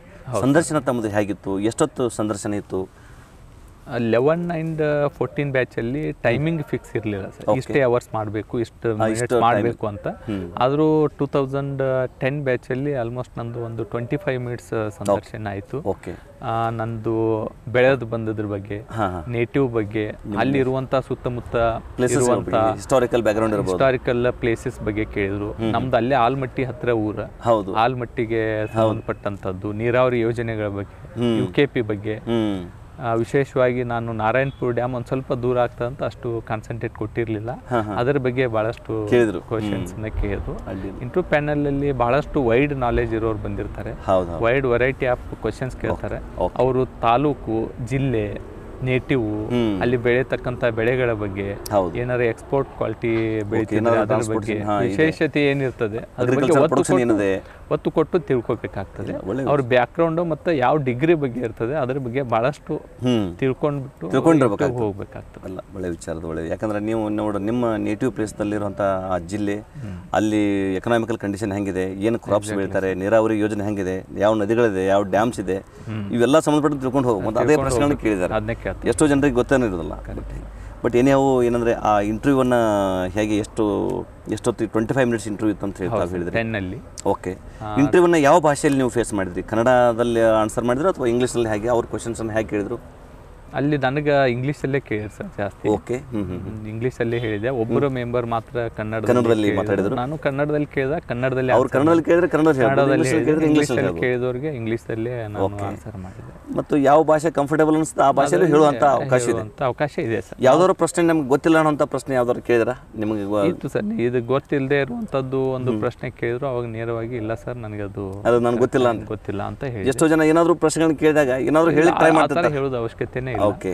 ಅದೇ ನಮ್ಮ ಕಾನ್ಫಿಡೆನ್ಸ್ ಲೆವೆಲ್ನ ಟೆಸ್ಟ್ ಮಾಡ್ತಾರೆ ಬೇಸಿಕಲಿ ಗೊತ್ತಿರೋದನ್ನ ಎಷ್ಟು ಬೆಸ್ಟ್ ಆಗಿ ಪ್ರೆಸೆಂಟ್ ಮಾಡ್ತಾರೆ ಅನ್ನೋದನ್ನ ಅವರು ಟೆಸ್ಟ್ ಮಾಡುವಂತ ಇದು ಅಂದ್ರೆ ಆ ಪರ್ಸನಾಲಿಟಿ ಟೆಸ್ಟ್ ಅಂದ್ರೆ ಇದೆ. ಇಂಟರ್ವ್ಯೂನೇ ಇದು ಪರ್ಸನಾಲಿಟಿ ಟೆಸ್ಟ್ ಅಂದ್ರೆ ಯಾವುದೋ ಪ್ರಶ್ನೆಗೆ ಉತ್ತರ ಗೊತ್ತಿರೋದಿಲ್ಲ but they are trying to say something ಅದು ಗೊತ್ತಾಗ್ಬಿಡ್ತದೆ. ಗೊತ್ತಾಗ್ತದ. ಅದು ನಾವು ಒಂದು ನೆಗೆಟಿವಿಟಿ ಬಗ್ಗೆ ಅವ್ರಿಗೆ ಅಸೆಸ್ ಮಾಡಕ್ಕೆ ಸ್ಟಾರ್ಟ್ ಮಾಡ್ತಾರೆ. ಸರಿಯಾಗಿ ಗೊತ್ತಿರೋದನ್ನ ಮಾತ್ರ ಹೇಳಬೇಕಾಗ್ತದೆ. ಎಕ್ಸಾಕ್ಟ್ಲಿ ಗೊತ್ತಿಲ್ಲ ಮತ್ತು ಗೊತ್ತಿಲ್ಲ ಅಂದ್ರೆ ಅದನ್ನ ಸರಿಯಾಗಿ ನಾವು ಒಪ್ಕೋಬೇಕು. ಒಪ್ಕೋಬೇಕು ಸರ್. ಬೋಲ್ಡ್ ಆಗಿ ಐ ಡೋಂಟ್ ನೋ ಸರ್ ಅಂತ ಹೇಳಿದ್ರೆ ನನಗೆ ಅದ್ರ ಬಗ್ಗೆ ತಿಳ್ಕೊಂಡಿಲ್ಲ ಅಂತ ಹೇಳ್ಬಿಟ್ರೆ ಆಯ್ತು. ಇದು ಇದೇ personality go to next question ಅದ್ರಲ್ಲಿ ನಮ್ಮ ಪಾಸಿಟಿವಿಟಿನ ಹೆಚ್ಚಿಗೆ ತೋರಿಸ್ಬೋದು. ಹೌದು ಹೌದು. ಆ ಒಂದು ಗೊತ್ತಿರೋದು ವಿಷಯದ ಮೇಲೆ ನಮಗೆ ಗೊತ್ತಿರೋದನ್ನ ಎಕ್ಸ್ಪೋಸ್ ಮಾಡೋ ಬದಲಿ ಗೊತ್ತಿಲ್ಲ ಅಂತ ಹೇಳಿದ್ರೆ ಅವ್ರದೇ will ask another question correct correct ಆ ಕ್ವಶನ್ಗೆ ನಾವು ಕರೆಕ್ಟಾಗಿ ಹೇಳಿದ್ರೆ ನಮ್ಮದು ಬಗ್ಗೆ. ರಿಫ್ಲೆಕ್ಷನ್ ಜಾಸ್ತಿ ಆಗ್ತದೆ. ಓಕೆ ಈಗ ಗ್ರಾಮೀಣ ಭಾಗದಿಂದ ಬಂದಂಥ ಒಬ್ಬ ವಿದ್ಯಾರ್ಥಿ ನೀವು ತಸ್ಲರ ಪೋಸ್ಟನ್ನು ಪಡ್ಕೊಂಡು ಈಗ ಧಾರವಾಡದಲ್ಲಿ ಸರ್ವಿಸ್ ಕೊಡ್ತಾ ಇದ್ರಿ. ಆಮೇಲೆ ಈಗ ಭಾಳಷ್ಟು ಜನ ವಿದ್ಯಾರ್ಥಿಗಳಿಗೆ ಎಷ್ಟೋ ಜನ ರೂರಲ್ ಏರಿಯಾದವ್ರಿಗೆ ಏನೋ ಒಂದು ರ್ಯೂಮರ್ ಇರ್ತದೆ. ಇಲ್ಲ ಕೆ ಎಸ್ ಆಗಲಿ ಐ ಎಸ್ ಆಗಲಿ ಆಗ್ಬೇಕಂದ್ರೆ ಏನಾದರೂ ದುಡ್ಡು ಇದು ಮಾಡ್ಕೋಬೇಕು ಅಥವಾ ಇಂಥವೇನೋ ಒಂದು ರ್ಯೂಮರ್ ಇರ್ತದೆ. ಅವ್ರ ಫೈನಾನ್ಷಿಯಲ್ ಬ್ಯಾಕ್ಗ್ರೌಂಡ್ ಚೆನ್ನಾಗಿರಬೇಕು. ಪಿ ಎಸ್ ಐ ಆಗ್ಬೋದು ಪಿ ಎಸ್ ಐ ಇರ್ಬೋದು ಕೆ ಎಸ್ ಇರ್ಬೋದು ಯಾವುದೋ ಉನ್ನತ ಹುದ್ದೆಗೆ ಹೋಗ್ಬೇಕಂದ್ರೆ ಅವ್ರು ಏನಾದರೂ ಇದು ಮಾಡ್ಕೋಬೇಕು ಅನ್ನೋಂಥ ಒಂದು ಎಷ್ಟೋ ಜನ ಅದು ರ್ಯೂಮರ್ ಇರ್ತದೆ ಒಂದು ಸುದ್ದಿ. ಗಾಳಿ ಸುದ್ದಿ ಅಂತ ಹೇಳ್ತೀವಿ ನಾವು. ಕರೆಕ್ಟ್ ಹಾಗಿದ್ರೆ ಮತ್ತು ಎಷ್ಟೋ ಜನ ಡಿಸ್ಕರೇಜ್ ಆಗಿ ಬಿಟ್ಟು ಹೋಗ್ಬಿಡ್ತಾರೆ. ಕರೆಕ್ಟ್ ಸೊ ಈಗ ಬಗ್ಗೆ ಏನು ಕೇಳೋದು ಬಹಳಷ್ಟು ಸಮಂಜಸ ಇದೆ. ಹಾಂ. ಇಂಥ ಭಾವನೆಗಳು ನಮ್ಮ ಭಾವನೆಗಳು ಮೂಡಿದ್ದು. ಹಾಂ. ಈಗ ಇದನ್ನ ಪ್ರಿಪರೇಷನ್ ಮಾಡಬೇಕಾದ್ರೆ ನಮ್ಮ ಕಡೆಯಿಂದ ಆಗುತ್ತಾ? ಹೌದು. ಇದಕ್ಕೆ ಇನ್ಫ್ಲೂಯೆನ್ಸ್ ಬೇಕಾಗ್ಬೋದು.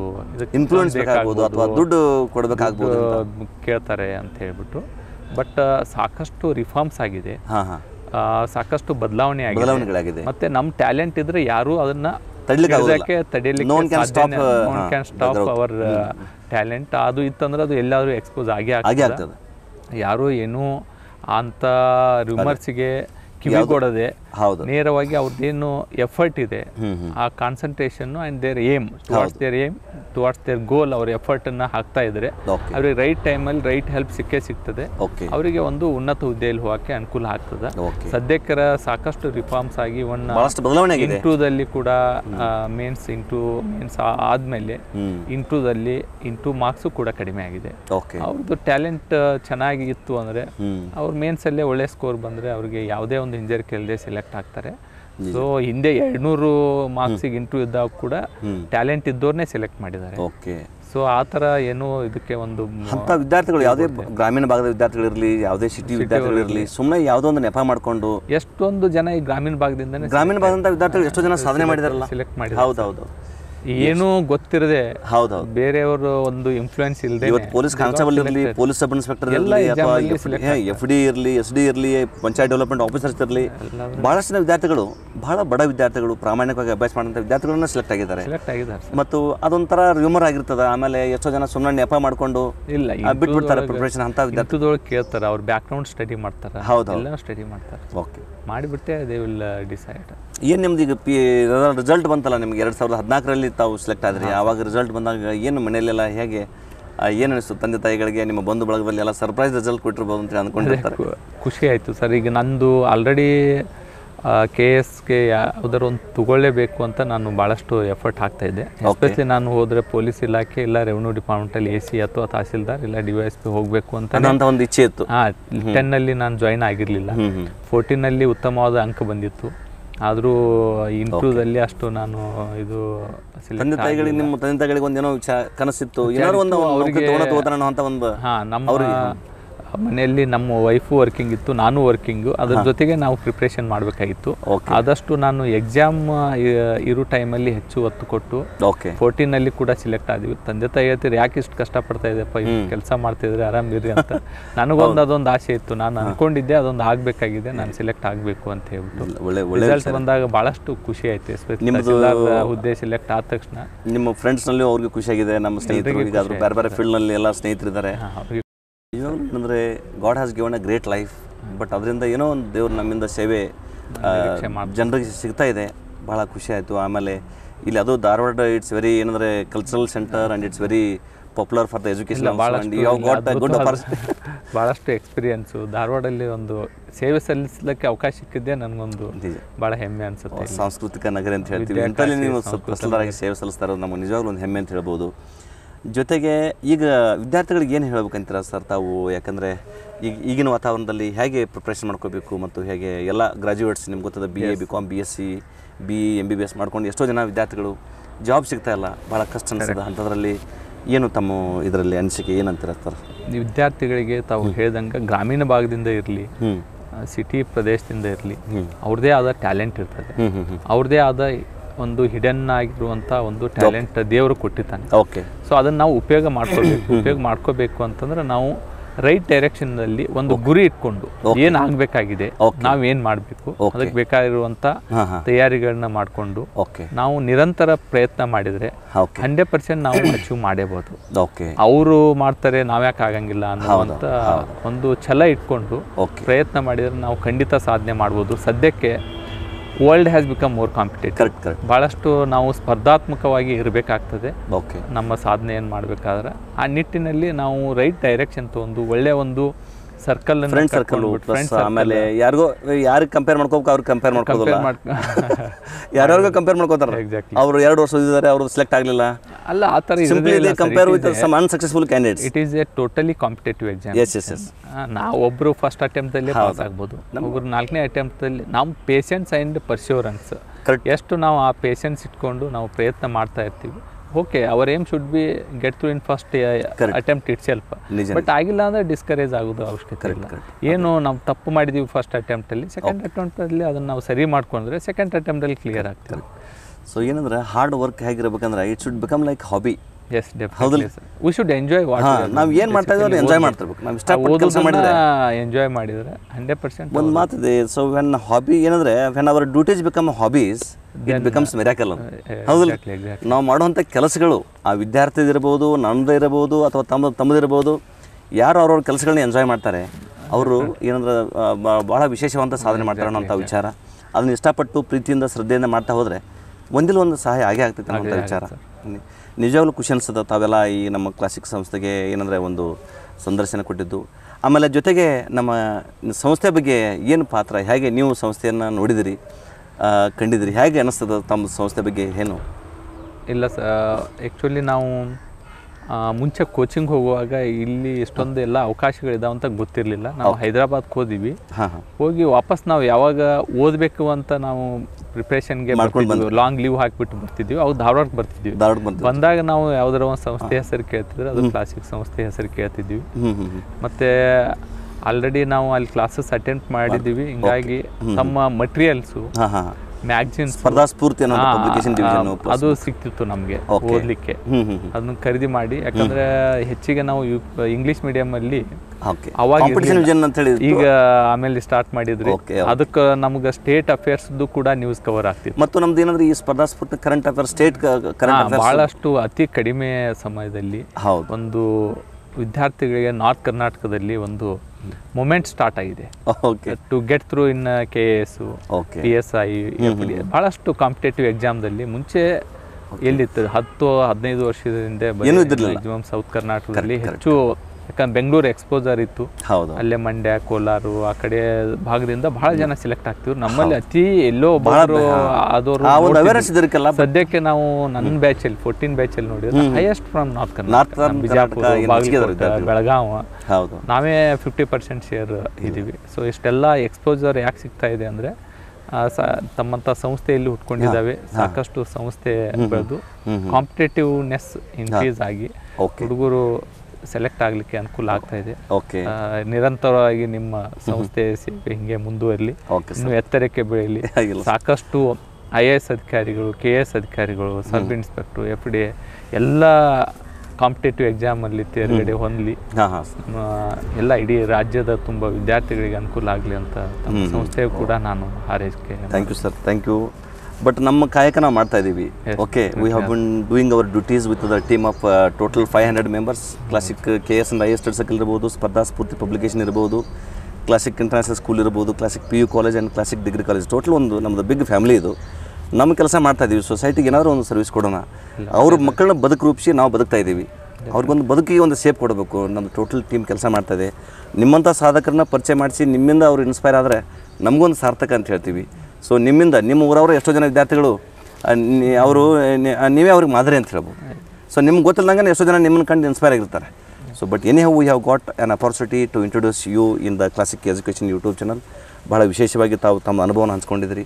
ಆ ಮುಂಬರುವ ದಿನಗಳಲ್ಲಿ ಮತ್ತೊಂದು ಕಾರ್ಯಕ್ರಮಕ್ಕೆ ತಮ್ಮನ್ನು ಇನ್ವೈಟ್ ಮಾಡ್ತಾ ಇದ್ದೀವಿ. ಸೊ ಈ ಒಂದು ಕ್ಲಾಸಿಕ್ ಎಜುಕೇಷನ್ ಯೂಟ್ಯೂಬ್ ಚಾನಲ್ಗೆ ತ- ಬಂದು ಸಂದರ್ಶನ ಕೊಡೋದಕ್ಕಾಗಿ ತಮಗೆ ಧನ್ಯವಾದಗಳು sir. Thank you very much thank you thank you thank you ನೋಡಿದ್ರಲ್ಲ ವೀಕ್ಷಕರೇ ಇವತ್ತು ವಿಶೇಷವಾಗಿ ನಮ್ಮ ಧಾರವಾಡ ತಹಸೀಲ್ದಾರಾದಂಥ ಸಂತೋಷ್ ಬ್ರಾದರ್ ಅವರು ಈ ಒಂದು ಕಾರ್ಯಕ್ರಮಕ್ಕೆ ಆಗಮಿಸಿ ತಮ್ಮ ಒಂದು ವಿಶೇಷವಾದಂಥ ಅನುಭವವನ್ನು ಸಾಧನೆ ಹಾದಿ ಹೇಗಿತ್ತು, ಅವರ ಪ್ರಯಾಣ ಹೇಗಿತ್ತು ಅನ್ನೋದನ್ನು ಹಂಚ್ಕೊಂಡಿದ್ದಾರೆ. ನಿಮಗೆ ಒಂದು ಮಾದರಿ ಅಂತ ಹೇಳ್ಬೋದು. ಎಷ್ಟೋ ಜನ ನಿಮ್ಮಲ್ಲಿ ಬಡ ವಿದ್ಯಾರ್ಥಿಗಳಿದ್ದೀರಿ. ಬೇರೆ ಬೇರೆ ಭಾಗದಿಂದ ಬಂದಂಥ ವಿದ್ಯಾರ್ಥಿಗಳಿಗೆ ಒಂದು ಮಾದರಿ ಅಂತ ಹೇಳ್ಬೋದು. ಸೊ ತಮಗೆಲ್ಲ ಈ ಒಂದು ಕಾರ್ಯಕ್ರಮಕ್ಕೆ ನೋಡೋದಕ್ಕಾಗಿ ತಮಗೆ ಧನ್ಯವಾದಗಳನ್ನು ಹೇಳ್ತಾ ನಾನು ಎರಡು ಮಾತು ಮುಗಿಸ್ತೀನಿ. ಥ್ಯಾಂಕ್ ಯು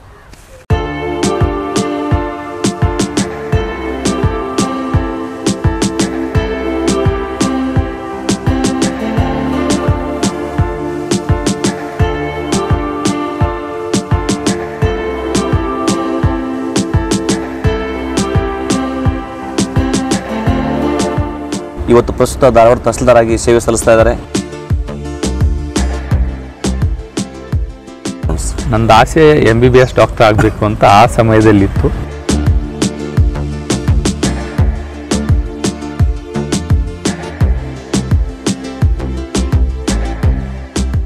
ಆಕ್ಚುಯಲ್ಸ್ ನೆನ್ಪಿಟ್ಕೋದ್ರ ಜೊತೆಗೆ ಹೌದು. ಕನ್ಸೆಪ್ಟ್ಸನ್ನು ಆಳವಾಗಿ ತಿಳ್ಕೊಬೇಕು. ಎಲ್ಲ ವಿಷಯನ ವೈಡ್ ಆಗಿ ಕವರ್ ಮಾಡಬೇಕು. ಆ ಟೆಸ್ಟ್ಗೆ ಅಟೆಂಡ್ ಆಗೋದ್ರಿಂದ ಹೌದು ದೇರ್ ಕಾನ್ಫಿಡೆನ್ಸ್ ಲೆವೆಲ್ ಇನ್ಕ್ರೀಸ್ ಆಗ್ತದೆ. ಆ್ಯಂಡ್ ದೇರ್ ಇಂಟರ್ನಲ್ ಇವ್ಯಾಲ್ಯೂಯೇಷನ್ ಆಗ್ತದೆ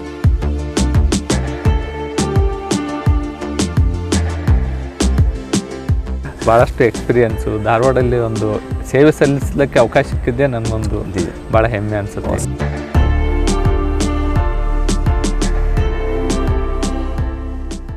Please subscribe to our channel and press the bell button for latest educational videos.